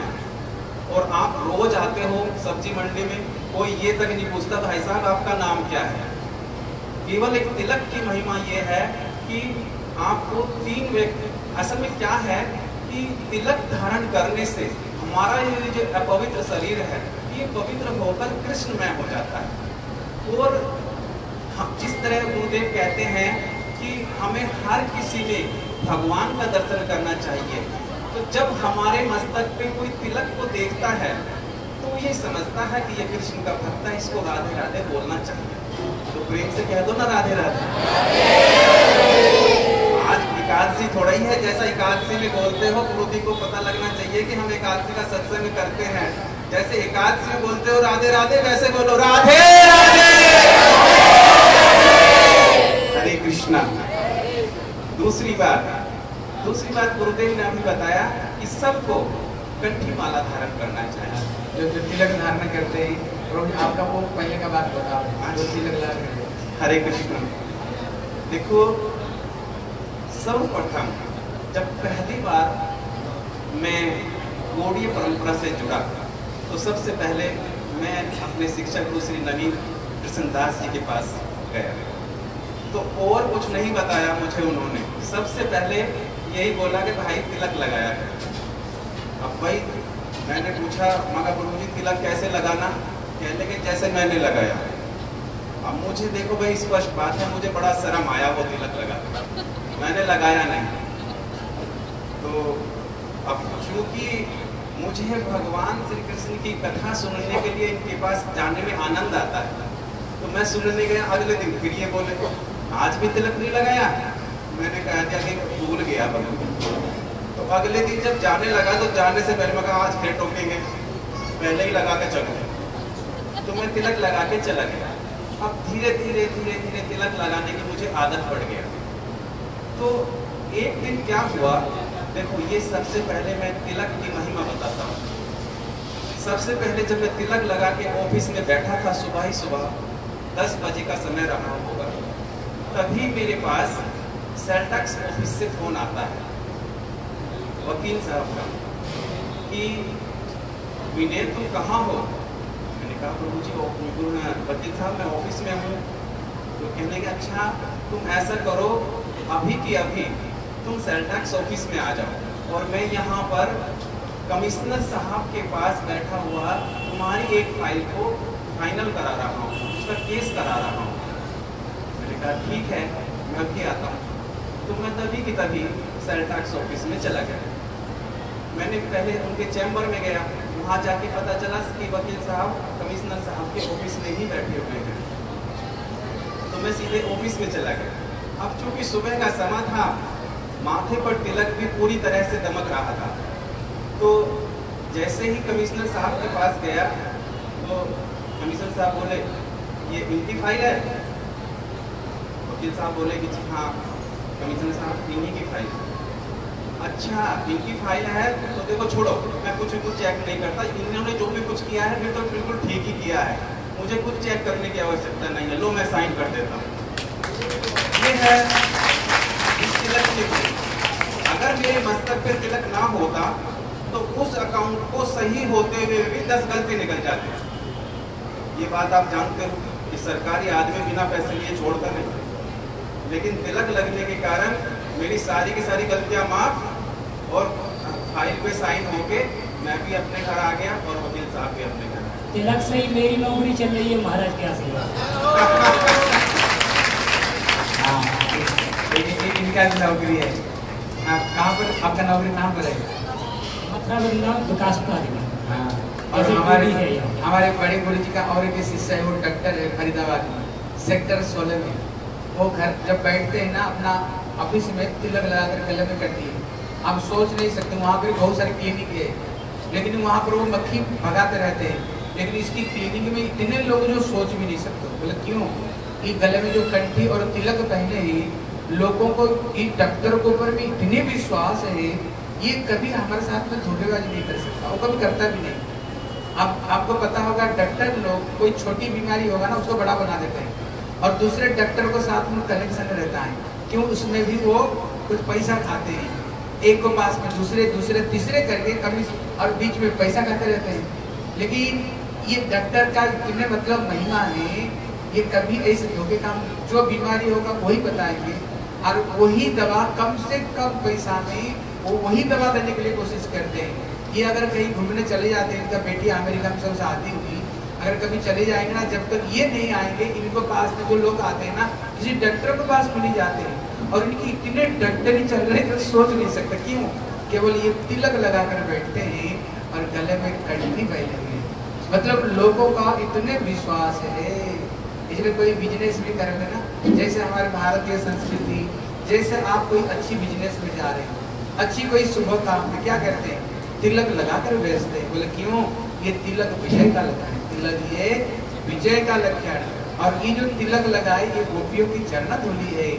नारद जी, ये चरण धुली वृंदावन से उन्हें द्वारका में लेकर गए थे। भगवान की स्नान करा गया। तभी उनका सर दर्द बुखार सही हुई हमारा भी बहुत सारी सर दर्द, बुखार है। लेकिन अगर तिलक लगाओगे ना, सारे सर दर्द खत्म हो जाएगा। आप भगवान कृष्ण को देखो, राम को देखो, नारायण को देखो बगैर तिलक के कोई है? जगन्नाथ जी को देखो तल कितना बड़ा तिलक जगन्नाथ जी का। राम को देखो, नारायण को था आधा मुँह तो ठाकुर का तिलक में भरा हुआ नारायण। इसलिए तिलक की बड़ी महिमा, तिलक लगानी चाहिए। ठीक है ना? हरे कृष्णा। अब आप समझ गए, जिन जिन लोगों ने आज पहली बार तिलक लगाया, उनसे कर प्रार्थना है कि वो तिलक को अवश्य लगाए। और वैसे भी गुरुदेव तो ये कहते हैं कि जिसके मस्तक पर तिलक और कंठी माला हो उसे यमराज के यमदूत नहीं ले जाते हैं, उसे विष्णु के दूत लेके आते हैं। ये तो पक्की गारंटी है। तो कम से कम इतनी तो पक्की गारंटी कर ही लो। कल से सब के सब तिलक लगाना। ठीक है? बोलो, हरे कृष्णा। अब बात आती है कंठी माला की। देखो, आप अपने गले में सोने की चैन पहन के घर से निकलो तो दस गुंडे आपके पीछे लग जाएँगे। और पता नहीं कब आपके गले में से चैन साफ़ हो गई, पता नहीं चलेगा। लेकिन अब सोने की चैन पहना है तो क्या हुआ? सर शरीर पे बनाई, जान पे बनाई। लेकिन कंठी माला हमारे शरीर को एक कवच प्रदान करती है। हमारे शरीर के अंदर क्या है, आप सब जानते हैं। कोई ऐसी पवित्र वस्तु नहीं है। मल माँ खून, पीठ तरह तरह की गंदी वस्तुएँ पड़ी हुई हैं। ये शरीर अपवित्र है। इस शरीर को पवित्रता अगर प्रदान करनी है तो इस कंठी माला को धारण करना पड़ेगा। दूसरी बात यह है कि कंठी माला को पहनने से गुरुदेव कहते हैं कि भगवान को जब भी कुछ भोग लगाओ तो उसमें तुलसी पत्ता होना अवश्य चाहिए। कई बार क्या होता है कि हम बाज़ार से कुछ भी लेके खा लेते हैं, उस समय तुलसी पत्ता हमारे पास नहीं होता। तो क्योंकि माला कंठ से लगी हुई है, हमारे पास तुलसी माला है तो जब हम कुछ भी खाते हैं तो वो हमारे कंठ से स्पर्श होके जाता है। जब कंठ से स्पर्श होके जाता है क्योंकि कंठ से तुलसी माला स्पर्श है तो यानी कि भगवान को भोग लग के हमारे शरीर के अंदर गया तो हमने वो वस्तु नहीं, बल्कि भगवान का प्रसाद खाया है। तीसरा फ़ायदा कंठी माला का है कि जब हम सुबह को स्नान करते हैं, और जो जल तुलसी माला से स्पर्श होकर हमारे शरीर पे गिरता है तो इसका मतलब है कि जितने भी तीर्थों की नदियाँ हैं उन सब नदियों में स्नान करके हम बाहर आए हैं। यानी उस नदियों में स्नान करने का फल प्राप्त होता है कंठी माला को धारण करने से। तो तुलसी माला कितनी पवित्र है? और चौथा कारण मैंने बताया ही है कि जिसके गले में कंठी माला और माथे में तिलक होगा, वो नरक में नहीं जाएगा। इस बात की गारंटी आज ही है। तो कल से क्या करना? जिस जिसके पास कंठी माला नहीं है, वो कथा के बाद कंठी माला और तिलक मुझसे ले सकता है। ठीक है? प्रेम से कह दो राधे राधे। हरे कृष्ण। और देखो गुरुदेव एक बात बोलते हैं कि इस भवसागर के बंधन से पार पाने के केवल दो उपाय हैं। एक है एकादशी का व्रत और दूसरा है हरिनाम। हरिनाम जो गुरुदेव बोलते हैं क्या बोलते हैं? हरे कृष्णा!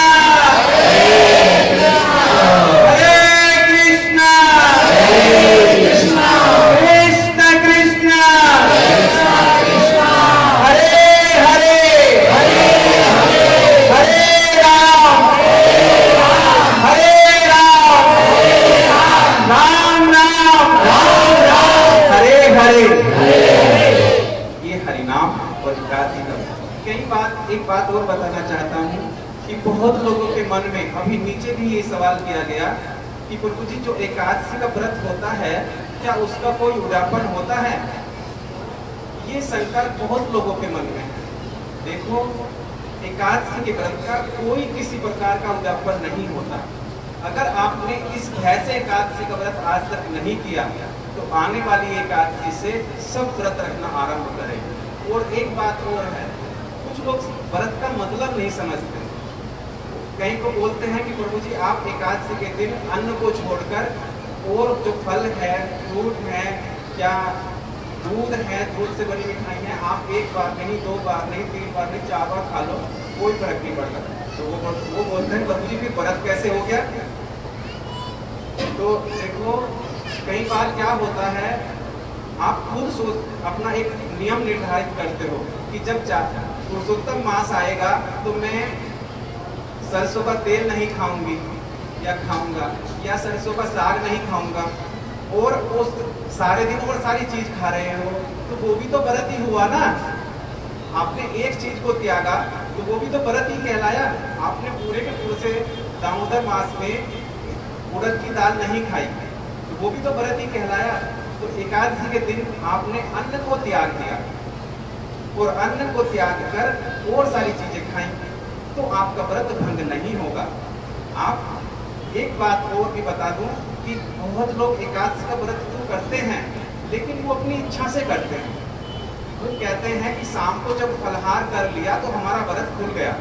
नहीं, वो व्रत नहीं खुला। वो तो जो आपको भूख सता रही थी, उस भूख को थोड़ा सा आपने शांत किया है। वास्तव में व्रत को पारण करने का एक निश्चित समय होता है। वही समय हम मोबाइल पर एसएमएस के माध्यम से आप तक पहुंचाते हैं। हर एकादशी का समय भिन्न भिन्न होता है। तो अक्सर ये समय सूर्य उदय के पश्चात और नौ, साढ़े नौ बजे से पहले होता है। इसी समय अवधि में भगवान को अन्न का भोग लगाकर वह प्रसाद जब हम स्वयं ग्रहण करते हैं, तब हमारा व्रत पूर्ण होता है। अन्यथा अगर हमने पारण नहीं किया तो केवल और केवल परिश्रम कहलाएगा, व्रत नहीं कहलाएगा। आप सबसे निवेदन है, अगर आप व्रत रख रहे हैं तो अपना मोबाइल का नंबर हमें दीजिए। आपके मोबाइल पर एकादशी से एक या दो दिन पहले एसएमएस पहुँच जाएगा। आने वाली एकादशी कब की है? एकादशी को पारण का समय क्या है? और एकादशी के दिन होने वाला सत्संग कहाँ पर हरे कृष्णा।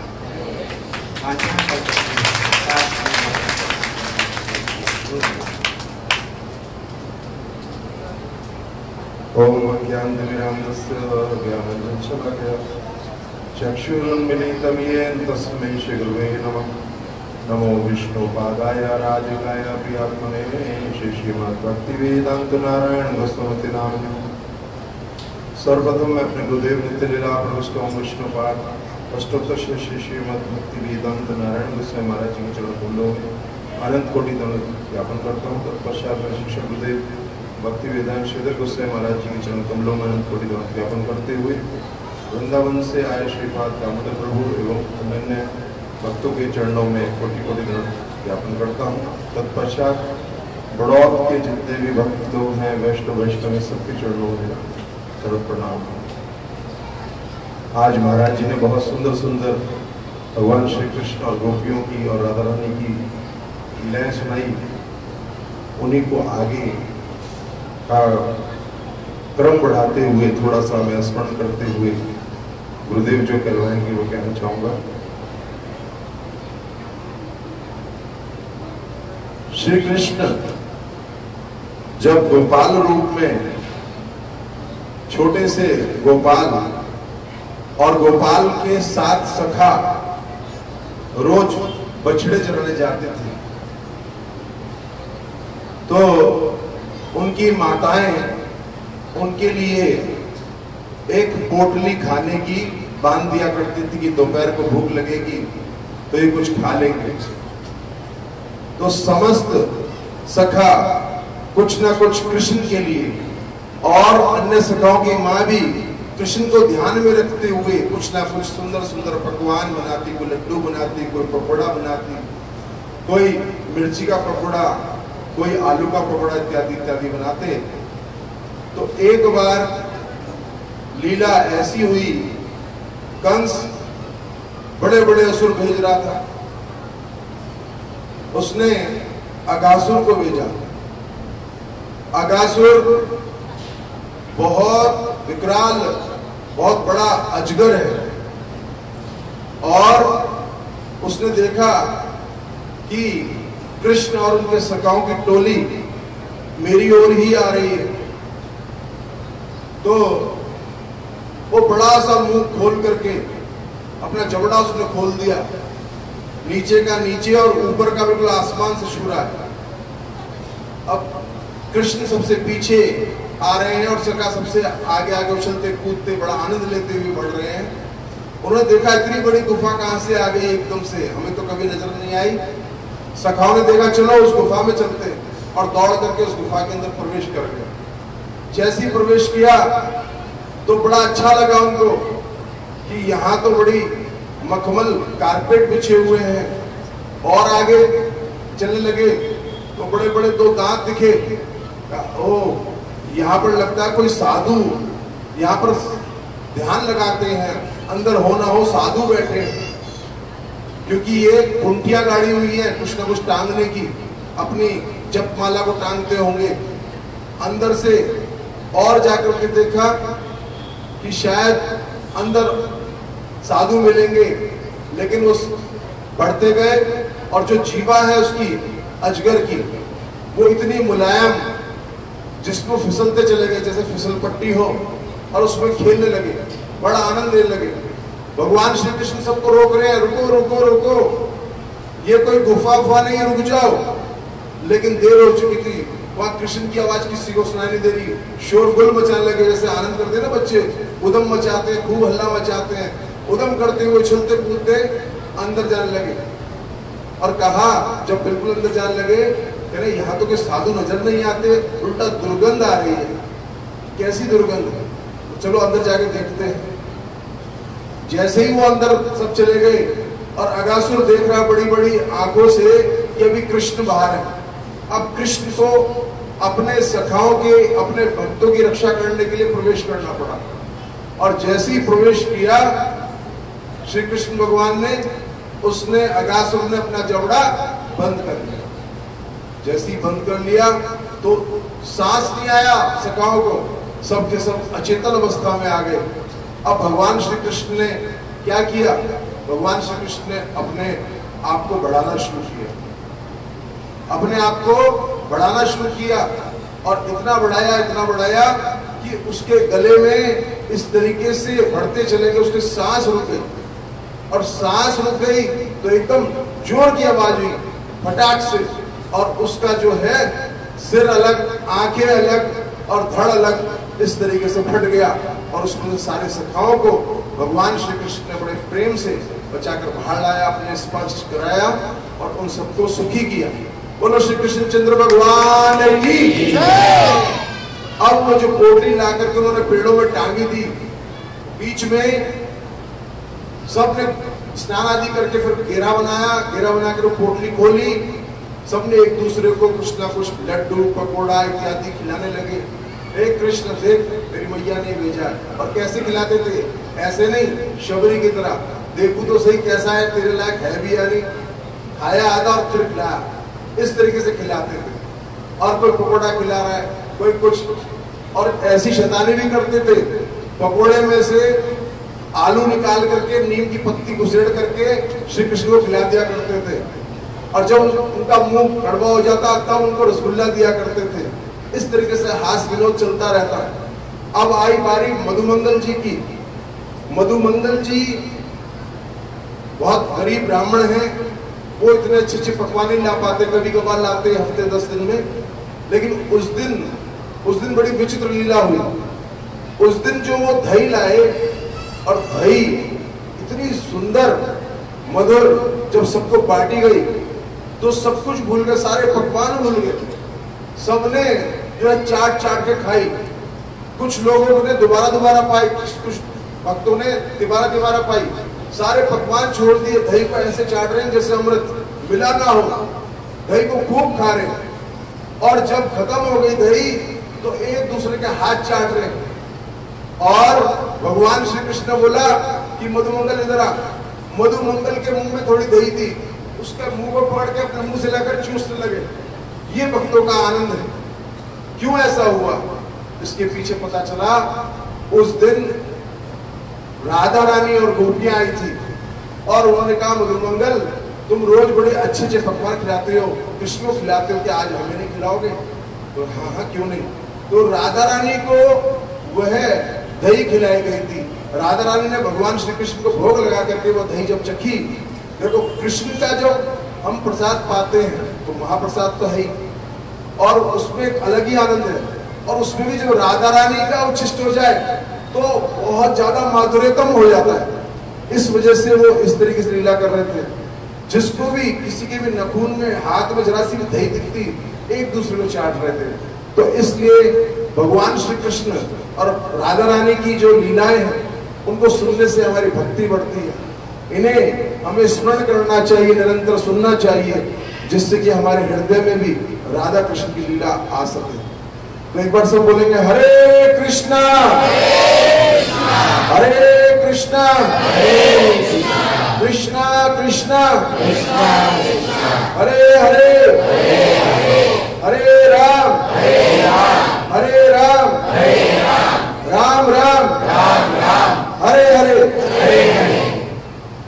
देखिए, भगवान का चिंतन करते हुए हरिनाम करना चाहिए। हम लोग जो है भगवान का चिंतन कैसे करेंगे? क्योंकि संसार में इतनी सारी चीज़ें आ चुकी हैं आजकल, मन को भटकाने वाली। उन सबसे मन को खींच करके भगवान तक लाना बड़ा मुश्किल है। तो हमें सर्वप्रथम क्या करना चाहिए? अगर आग बंद करके हृदय में भगवान का स्मरण नहीं बन पा रहा है, ध्यान नहीं लग पा रहा है तो हमें गुरुदेव का स्मरण करना चाहिए। गुरुदेव को हमने देखा है, देख रहे हैं। उनका स्मरण करके हमें कम से कम सुबह दो माला करनी चाहिए। अगर आग बंद करके गुरुदेव का स्मरण नहीं हो रहा है तो सामने गुरुदेव का चित्रपट रख करके इस तरीके से उनको रख करके सामने ज़ोर ज़ोर से गुरुदेव को सुना करके दो माला करें। हरे कृष्ण हरे कृष्ण कृष्ण कृष्ण, हरे हरे। हरे राम हरे राम राम राम, हरे हरे। उससे क्या होगा? हमारा मन स्थिर होगा जिस प्रकार से भगवान का स्मरण नहीं बन पाता है तो भगवान का दर्शन जैसे हमें करना है तो क्या विधि क्या है उसकी दर्शन करने की? भगवान के दर्शन करने की विधि ये है, सर्वप्रथम उनके चरण कमलों का दर्शन होता है। एकदम से उनके मुखारविंद को नहीं देखना चाहिए। सर्वप्रथम हमें कहा देखना चाहिए? उनके चरणारविंद को। चरणारविंद से फिर धीरे धीरे धीरे उनके घुटने को, घुटने से जंगा जंगा से करधनी और वो पूरा पीताम्बर लिपटे हुए, उनका नीचे का अंग, फिर ऊपर का नाभि कमल, फिर वक्ष कमल, और फिर ग्रीवा कमल, और फिर जो है मुख मंडल कमल। इस तरीके से उनके घुंघराले बाल और वंशी इत्यादि का दर्शन करना चाहिए। तो मैं इसलिए बोल रहा हूँ, क्योंकि गुरुदेव गुरुदेव को भगवान के चरणों के प्रभु पाद भी बोले जाता था, प्रभु के चरण कमल। तो गुरुदेव उनके चरण कमलों में रहते हैं। इसीलिए उनके चरणों का स्मरण करने का सबसे अच्छा उपाय है, गुरुदेव का स्मरण करना चाहिए। क्योंकि भगवान की लीलाओं में और भगवान की लीलाओं का स्मरण कराने में गुरुदेव सहायक होते हैं। इस तरीके से यदि हम सही सही विधि से भजन करेंगे तो हर प्रकार की जो रीति है, रिवाज है, संसार में उनको भूल करके, भगवान की जो विधियाँ हैं, उनको ठीक प्रकार से ग्रहण करके हम भजन कर पाएँगे। और कुंती महारानी ने क्या मांगा? जब भगवान श्री कृष्ण द्वारिका जाने के लिए उत्सुक हुए कि अब तो तुम्हारा पूरा राज वापस मिल गया हस्तिनापुर का मुझे चलना चाहिए तो कुंती महारानी ने कहा, ठीक है, आप सबको कुछ ना कुछ देकर जा रहे हो तो मुझे भी कुछ दीजिए। कहा, बुआ, बताओ क्या चाहती हूँ? तो उन्होंने कहा, मुझे विपदाएँ दो। तो कुंती महारानी ने कहा, विपदा में ही आपका स्मरण हो सकता है। और बड़े बड़े ऊँचे कुल में यदि कोई जन्म ले ले या ज़्यादा धन आ जाए तो आपका स्मरण जो है नहीं हो पाता है। भूल जाते हैं लोग आपका स्मरण करने से ही हृदय शांत होता है। और जो परम पद है, अर्थात भक्ति, वह मिलती है। केवल भक्ति मिलती है। इसीलिए मुझे विपदाएँ थे वृत्रासुर भी यही कह रहे हैं। वृत्रासुर तो बिल्कुल विपद अवस्था में आ चुके थे। वृत्रासुर जो है, महान असुर है। असुर होते हुए भगवान। श्री कृष्ण के अनन्य भक्त हैं। वृत्रासुर को मारने के लिए देवी देवताओं ने बहुत प्रयत्न कर लिए। तब जाके पता चला ददीची की अस्थियों से जो ब्रज बनेगा, उस वज्र से इनका सिंगार होगा।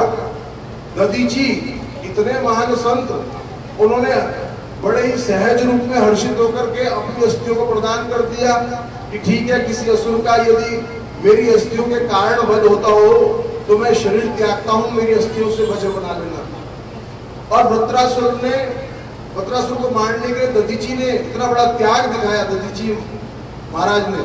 उनके अस्थियों से वज्र बना वो इंद्र को प्रदान किया गया।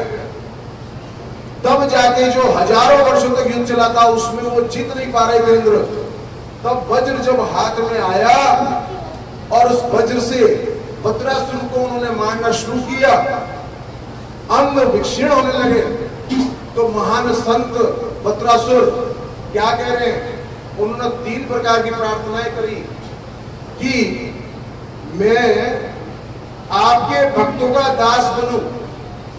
मेरे को अगर जन्म भी मिले, अगला जन्म मुझे ऐसी जगह दीजिए जहाँ आपके भक्त हो, जहाँ निरंतर संकीर्तन होता हो, जहाँ निरंतर आपके यशोगान को गाया जाता हो, कथाएँ होती हो, मैं ऐसे आपके भक्तों का दास बनूं। और मेरी आपसे प्रीति कैसे हो? मेरी प्रीति ऐसी हो जैसे छोटा सा एक बच्चा आज़ाद पक्षी अभी जिसके पंख नहीं निकले और उसकी मैया जो है ला करके उसको दाना दे रही है। और वो मैया से ऐसे प्रेम करता है कि मेरी मैया आएगी और बड़े प्रेम से मुझे दाना देगी। मेरी प्रीति उस बच्चे की माँ से जैसी होती है। ऐसी प्रीति हो।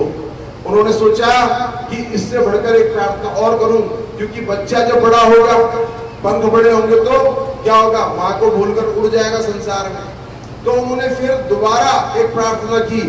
कहा, मेरी प्रीति ऐसी हो प्रभु, कि जैसे बछड़ा और गैया, जैसे गई गौ माता अपने बछड़े को देख करके एकदम से दूध उसके स्तनों में उतर आते हैं और बछड़ा भी दौड़ करके सब कुछ भूल जाता है। मैया के पास आकर के बड़े प्रेम से स्तन पान करता है। और मैया भी बड़े प्रेम से उसको दुलारती है, चाटती है। ऐसा मेरा प्रेम आपके चरण कमलों में हो मेरे प्रभु। ये कौन कह रहा है?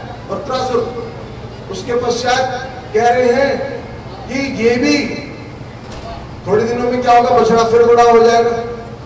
बछड़ा बड़ा होगा तो दूध नहीं पिएगा तो वो प्रेम भी शायद घट जाएगा। तो तीसरी प्रार्थना फिर कर रहे हैं कि मेरा प्रेम प्रभु आपके चरणों में ऐसा हो, जिस प्रकार से किसी पतिव्रता स्त्री का पति दूसरे शहर में धन कमाने या व्यापार करने या किसी काम से गया हुआ हो और कई महीनों में वापस आ रहा है और वह विरह में तड़प रही है और जब वो मिलती है, उसके मिलन में और विरह में दोनों में जो तड़पन है, ऐसी मेरी तड़प हो आपके दर्शन के लिए, आपके चरण कमलों की के लिए।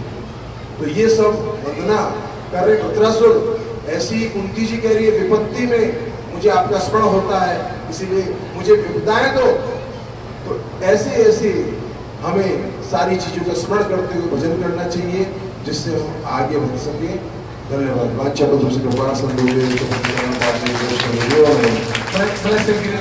महाराज की प्रभु तो बोले थे कर समय बहुत हो गया एक साथ में तो थोड़ी सी मिनट गिरिराज कथा फिर भजन हो ठीक है हम पूरा भजन छोड़ देंगे पाँच मिनट सुन लो गिरिराज की कथा बस गिरिराज बाबा की ज़ोर से जयकार दो जैसे लगे कथा हो रही है गिरिराज की जितने ज़ोर से जयकार दोगे, जयकार किसको होगी? हमारी रहेगी भगवान स्वयं बताए कि गिरिराज की सेवा में एक अन्न का दाना कोई भोग में लगा दे।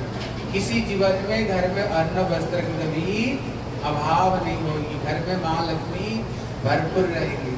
और जो व्यक्ति गिरिराज की परिक्रमा करते हैं, ठाकुर जी उसको पीछे पीछे पीछे पीछे ठाकुर जी घूमते हैं, बोले, इतने कष्ट करके मेरी परिक्रमा लगा रहा है। कि मेरे से क्या मांगेगा, है? इसलिए जो मांगो गिरिराज जी हमें वही प्रदान कर देते हैं। श्री गिरिराज महाराज कहते जो गिरिराज गोवर्धन है, वो कहाँ से आए? ये गिरिराज गोवर्धन है कौन? इसलिए गर्ग संहिता में आती है, एक समय गोलक वृंदावन में राधा कृष्ण बैठे हुए थे। सोच रहे थे ऐसे एक सुंदर स्थान हो जो पृथ्वी का सबसे सुंदर स्थान। हर तरह का वृक्ष, हर तरह का फल, हर तरह का फूल, सुंदर नदी बहता हुआ हो, सुंदर कुंजा हो, सुंदर गुफाएँ हो, सुंदर सुंदर वहाँ पर तालाब हो, और सुंदर सुंदर वहाँ पर मधुमक्खी छता बनाई हुए हो, जहाँ पर गर्मी, सर्दी नहीं हो, जहाँ पर एक साथ में छह ऋतु बहता हुआ हो। हैं? पृथ्वी का सबसे सुंदर जगह। हो तब से राधा रानी अपना हृदय से ये गिरिराज गोवर्धन पर राधा रानी हृदय से प्रकट करती है। बोले ये जगत में आए कैसे, एक दिन कृष्ण राधा रानी से बोले, हे राधे, मैं मरते जगत में जाना चाहता हूँ। चलोगी? बोले, नहीं। बोले, क्यों? बोले, जहाँ पर गिरिराज नहीं, जहाँ पर यमुना महारानी नहीं, जहाँ पर शिव नंदगाम बरसाना नहीं, मैं जाकर वहाँ पर क्या करूँगी? कृष्ण बोले, देखो राधे, जब ये गोलोक वृंदावन से मैं उतरूँगा, ये संपूर्ण ये गोलोक वृंदावन मरते जगत में ले जाऊँगा। मैं अकेले नहीं, मेरे सखा सखी पिता माता भी चलेगी। तुम अकेले नहीं, तुम्हारी पिता माता गो गोपी सखियाँ तुम्हारी चलेगी। चलोगी? बोले, फिर तो मैं चलेगी। इसका मतलब है, गोलोक वृंदावन से ही ये गिरिराज गोवर्धन इसी मरते जगत में गोलोक वृंदावन से उतरे इसलिए वृंदावन में जो कुछ वन जंगल देख रहे हो, जो कुछ नाम देख रहे हो, सबके सब गोलोक वृंदावन से ही मरते जगत में आए हैं। एक दिन नंद बाबा ने देखा, कृष्ण ने देखा, मैया जसोदा रात भर लड्डू, कचौड़ी, मालपुआ, हैं, रात भर बना रही है। कृष्ण ने बोले, मैया मैया, आज इतनी रात भर क्यों है सब बना रही हो? क्या कल मेरे जन्म तिथि बोले, नहीं, बोले, फिर दाऊ भैया का बोले नहीं जा पिताजी को पास कर पिताजी को पूछना कृष्ण पिताजी गोद में बैठे गए ताड़ी पकड़ लिए। बोले, पिताजी पिताजी, मैया, रात भर क्यों ये लड्डू कचौड़ी मालपुआ बना रही है? बोले, लाला, कल श्री इंद्र राजा की पूजा होगी। बोले, पिताजी, इंद्र है कौन? इंद्र कौन है? बोले, ये स्वर्ग का देवता है।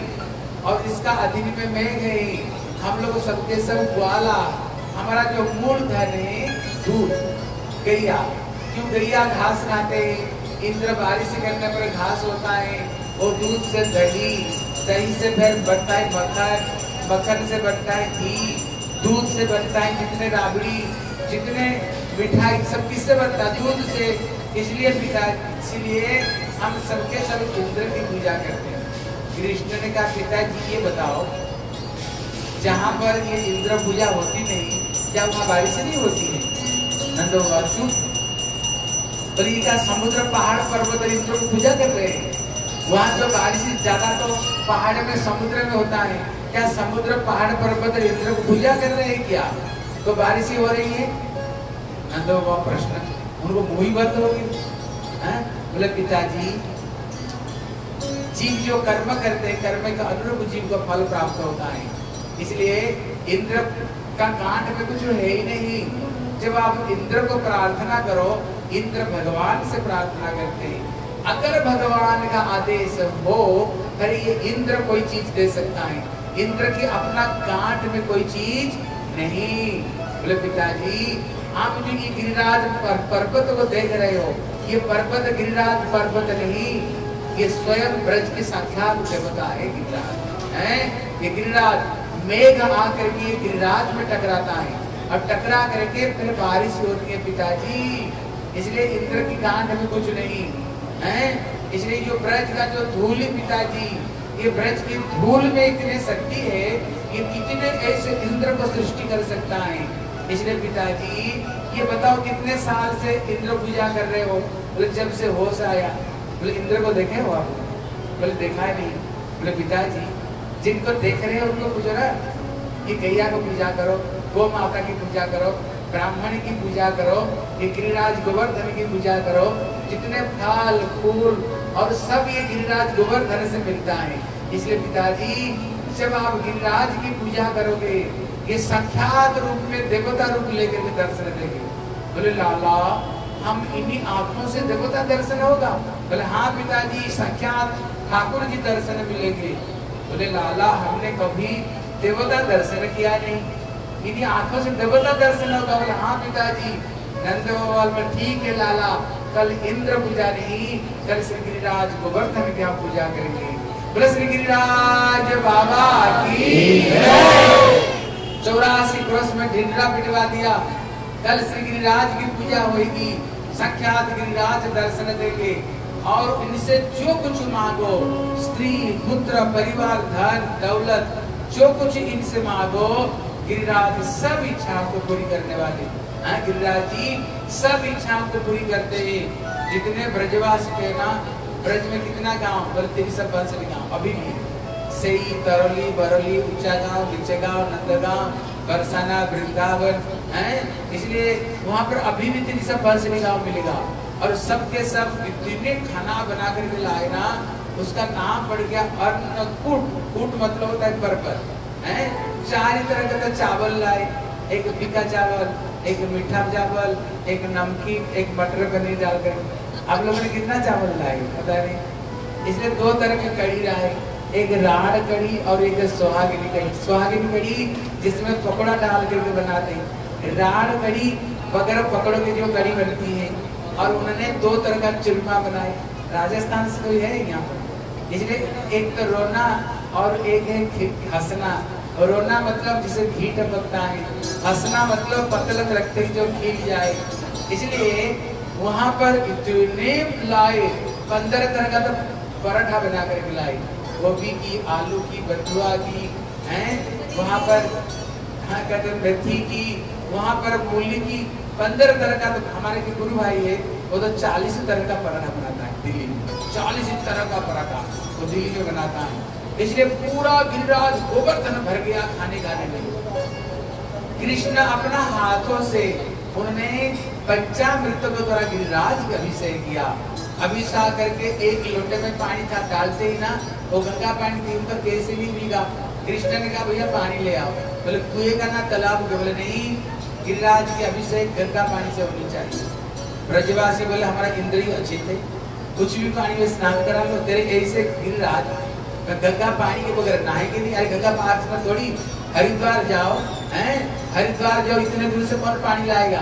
बोले कन्हैया तभी तेरे गिरिराज को हम गिरिराज मानेंगे। अगर ये स्वयं गंगा को प्रकट कर दे बोले, चिंता क्यों करते हो?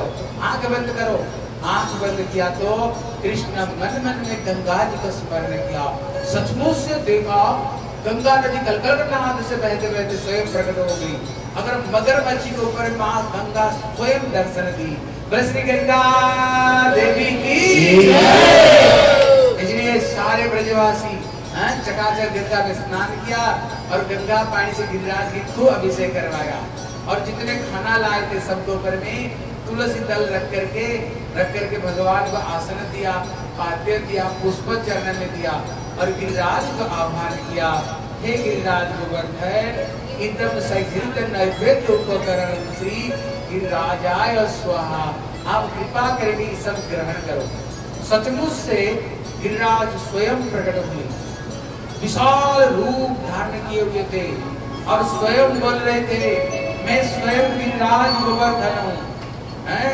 जो व्यक्ति आज का दिन एक अन्न का दाना ये गिरिराज की सेवा में लगा दिया, मैं आशीर्वाद देता हूँ। कभी भी उनके घर में अन्न वस्त्र की कभी अभाव नहीं पड़ेगा। माँ लक्ष्मी घर में भरपूर रहेगी। ये स्वयं वरदान दिया है। और जो व्यक्ति गिरिराज की अनादर करेगा, जन्म जन्मांतर में कंगाल होकर के भटक कर रहेगा। उन्होंने वरदान दिया सबको।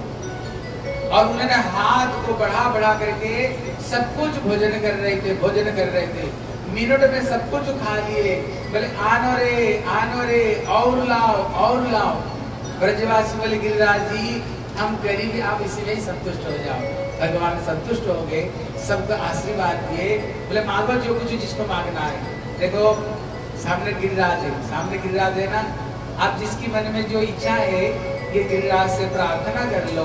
गिरिराज जी, सभी की इच्छा को गिरिराज जी पूरी करने वाले हैं। और जीवन में भगवान की भक्ति और भगवत प्रेम को देने वाले श्री गिरिराज बाबा है। महाराज! कृष्ण ने कहा भैया चकाचक भोजन करो चलो। सबके साथ परिक्रमा करेंगे। बताओ कि गिरिराज की इतने महिमा क्यों गई कारण है कि गिरिराज तो स्वयं भगवान कृष्ण दूसरी बात है सारा दुनिया भगवान बांके बिहारी की पूजा करता है। लेकिन भगवान बांके बिहारी किसकी पूजा की गिरिराज। सारा दुनिया भगवान को परिक्रमा करते हैं। लेकिन ये भगवान ने परिक्रमा किसको की है?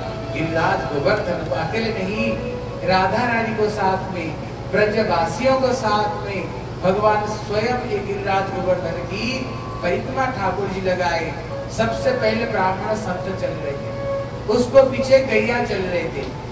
और उसको पीछे जितने ब्रजवासी चल रहे थे और सबसे पीछे ये गोपियाँ चल रही थी। और सबसे पीछे से राधा रानी चल रही थी, जब परिक्रमा करते करते चल रहे थे, इतने में राधा रानी मन मन में सोच रही है। मैं तभी मेरे प्रियतम को प्रियतम मानूँगी। अगर कृष्ण क्या मेरे को थोड़ा दर्शन देंगे, अभी राधा जी के हृदय की बात कृष्ण समझ गए। बोले, भैया, कैसे राधा जी के दर्शन दूँगी? राधा पीछे? और कृष्ण बीच में दर्शन कैसे दे? कृष्ण ने अपना जो गैया चरण लपुट थी उसको ऊपर में फेंके।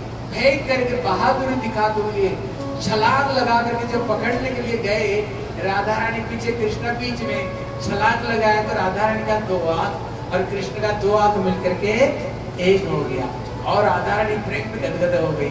कृष्ण ने इच्छा पूरी कर दी और थोड़ी दूर तक गए। अभी राधा रानी सोच रही है, कृष्ण क्या मेरे को थोड़ा स्पर्श भी करेंगे? अब राधा जी हृदय की बात समझ गई।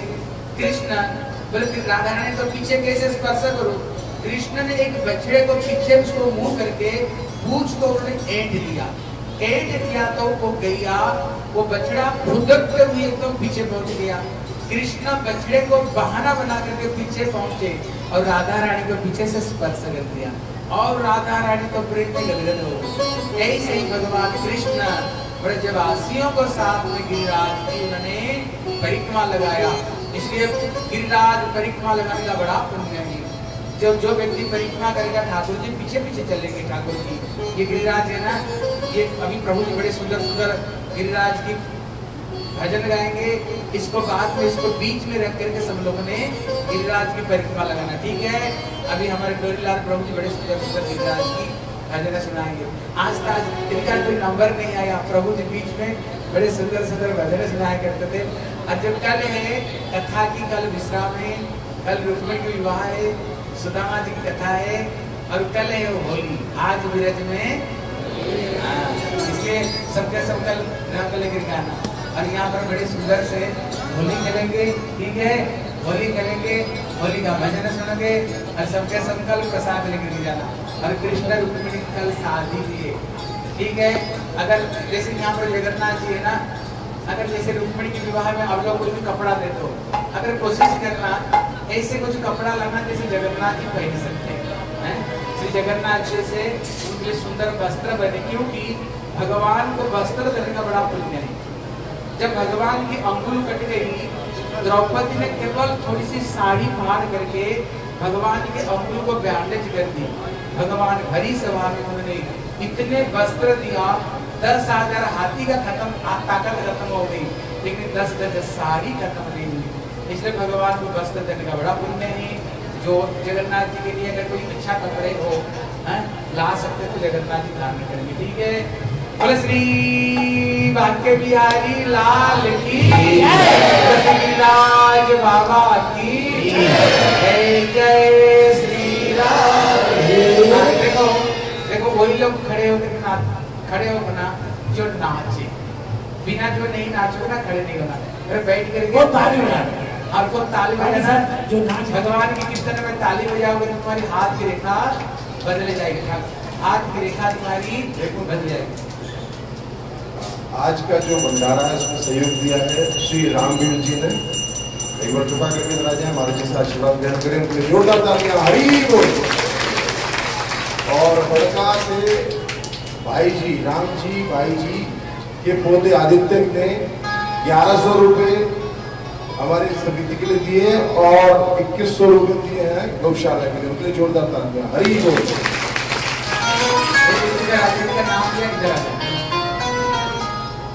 देखो भगवान सबकी चीज़ ग्रहण नहीं करते हैं। और हमारे गुर्जर धर ने भगवान के लिए छापान भोग छत्तीस व्यंजन बनाया था। लेकिन ठाकुर जी मोड़ करके भी देखे नहीं। लेकिन कहाँ पर गए? विदुर जी के घर में सात भाजी प्रमुख आए इसलिए भगवान के जो देते हैं हैं जो बड़े अभी आप किसका नाम श्री राकेश सिंगल जी ने भी योगदान दिया जोरदार तालियाँ जल्दी आइए और श्री कालू राम भारद्वाज जी ने भी योगदान दिया इनके लिए जोरदार आइए। इधर आ जाओ किसका नाम है आ जाओ इधर आ जाओ। राकेश सिंगल।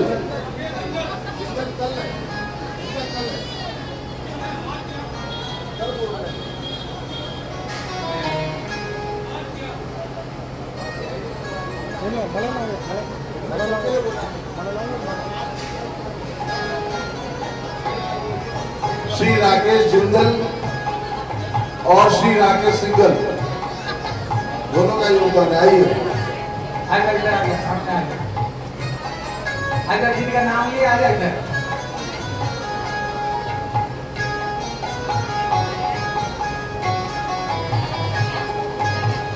श्री राकेश जिंदल जी के लिए जोरदार तालियाँ हरि बोल।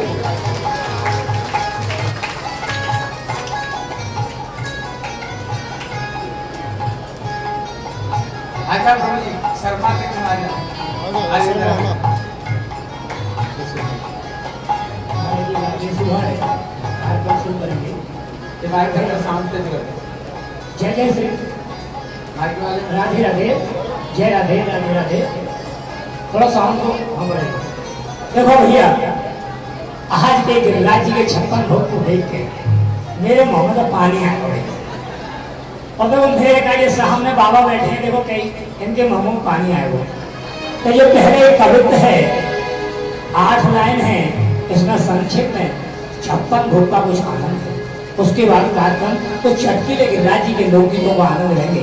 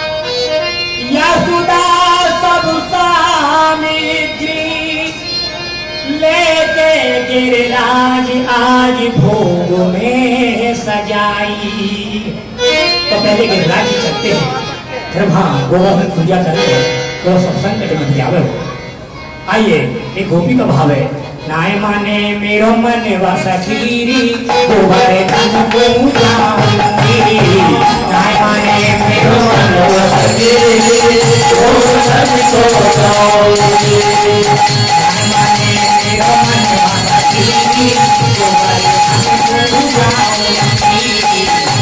माने मेरो मन वसखीरी गोबर धन पूजा जाऊँगी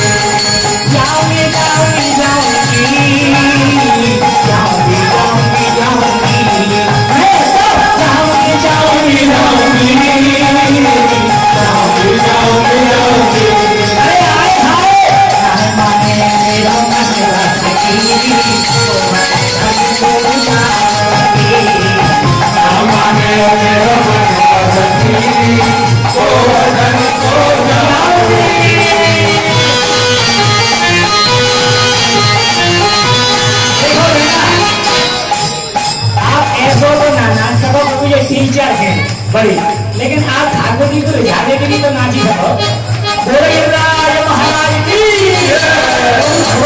भगवान बदल है। माने से गंगा में जो करे। माने से गंगा में जो करे। माने से गंगा में जो तारा करे। माने से गंगा में जो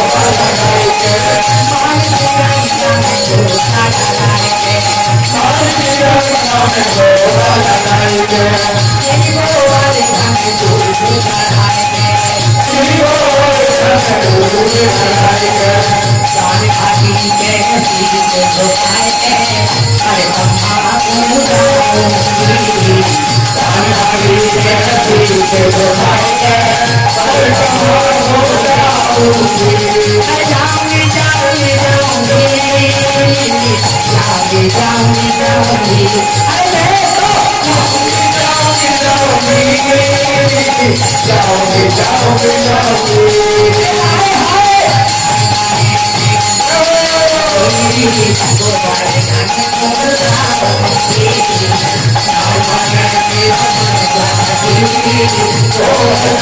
आगे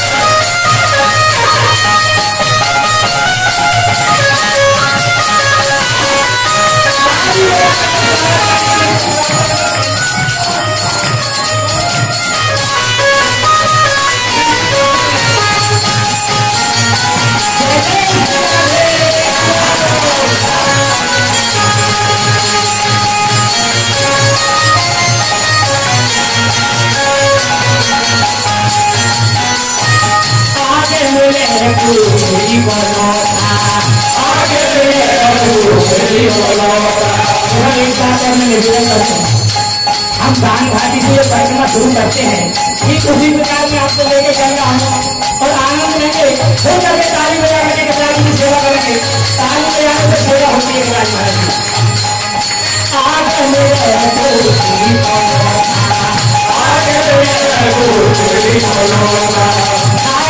पूछी बोलो था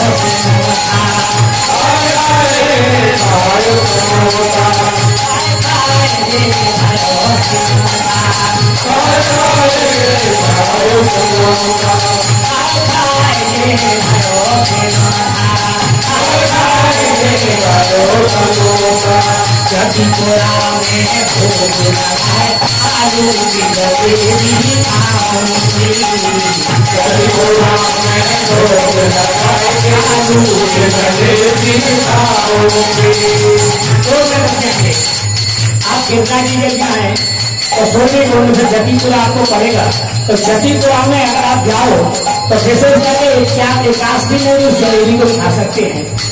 गिरनार जी में दही और आलू की जलेबी बनती है। करारी करारी आती है। मैं अभी भी गया। बीच में महाराज का खाने से पहले तो मैंने वहाँ ढाई सौ ग्राम जलेबी। बैठ आलू की जलेबी खाऊँगी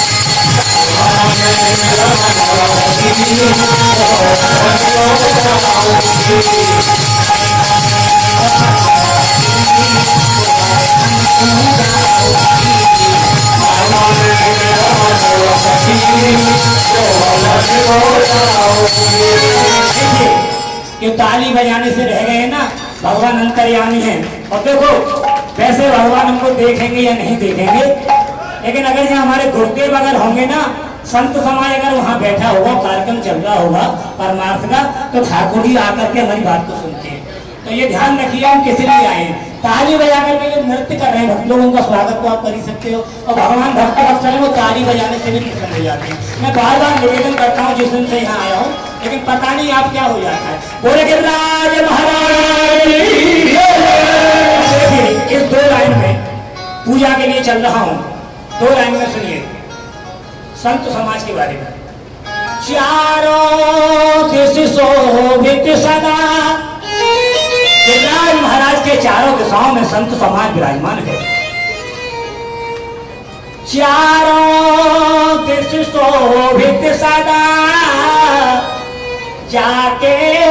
संत समाज। साधु देवन के मुकोट मणि।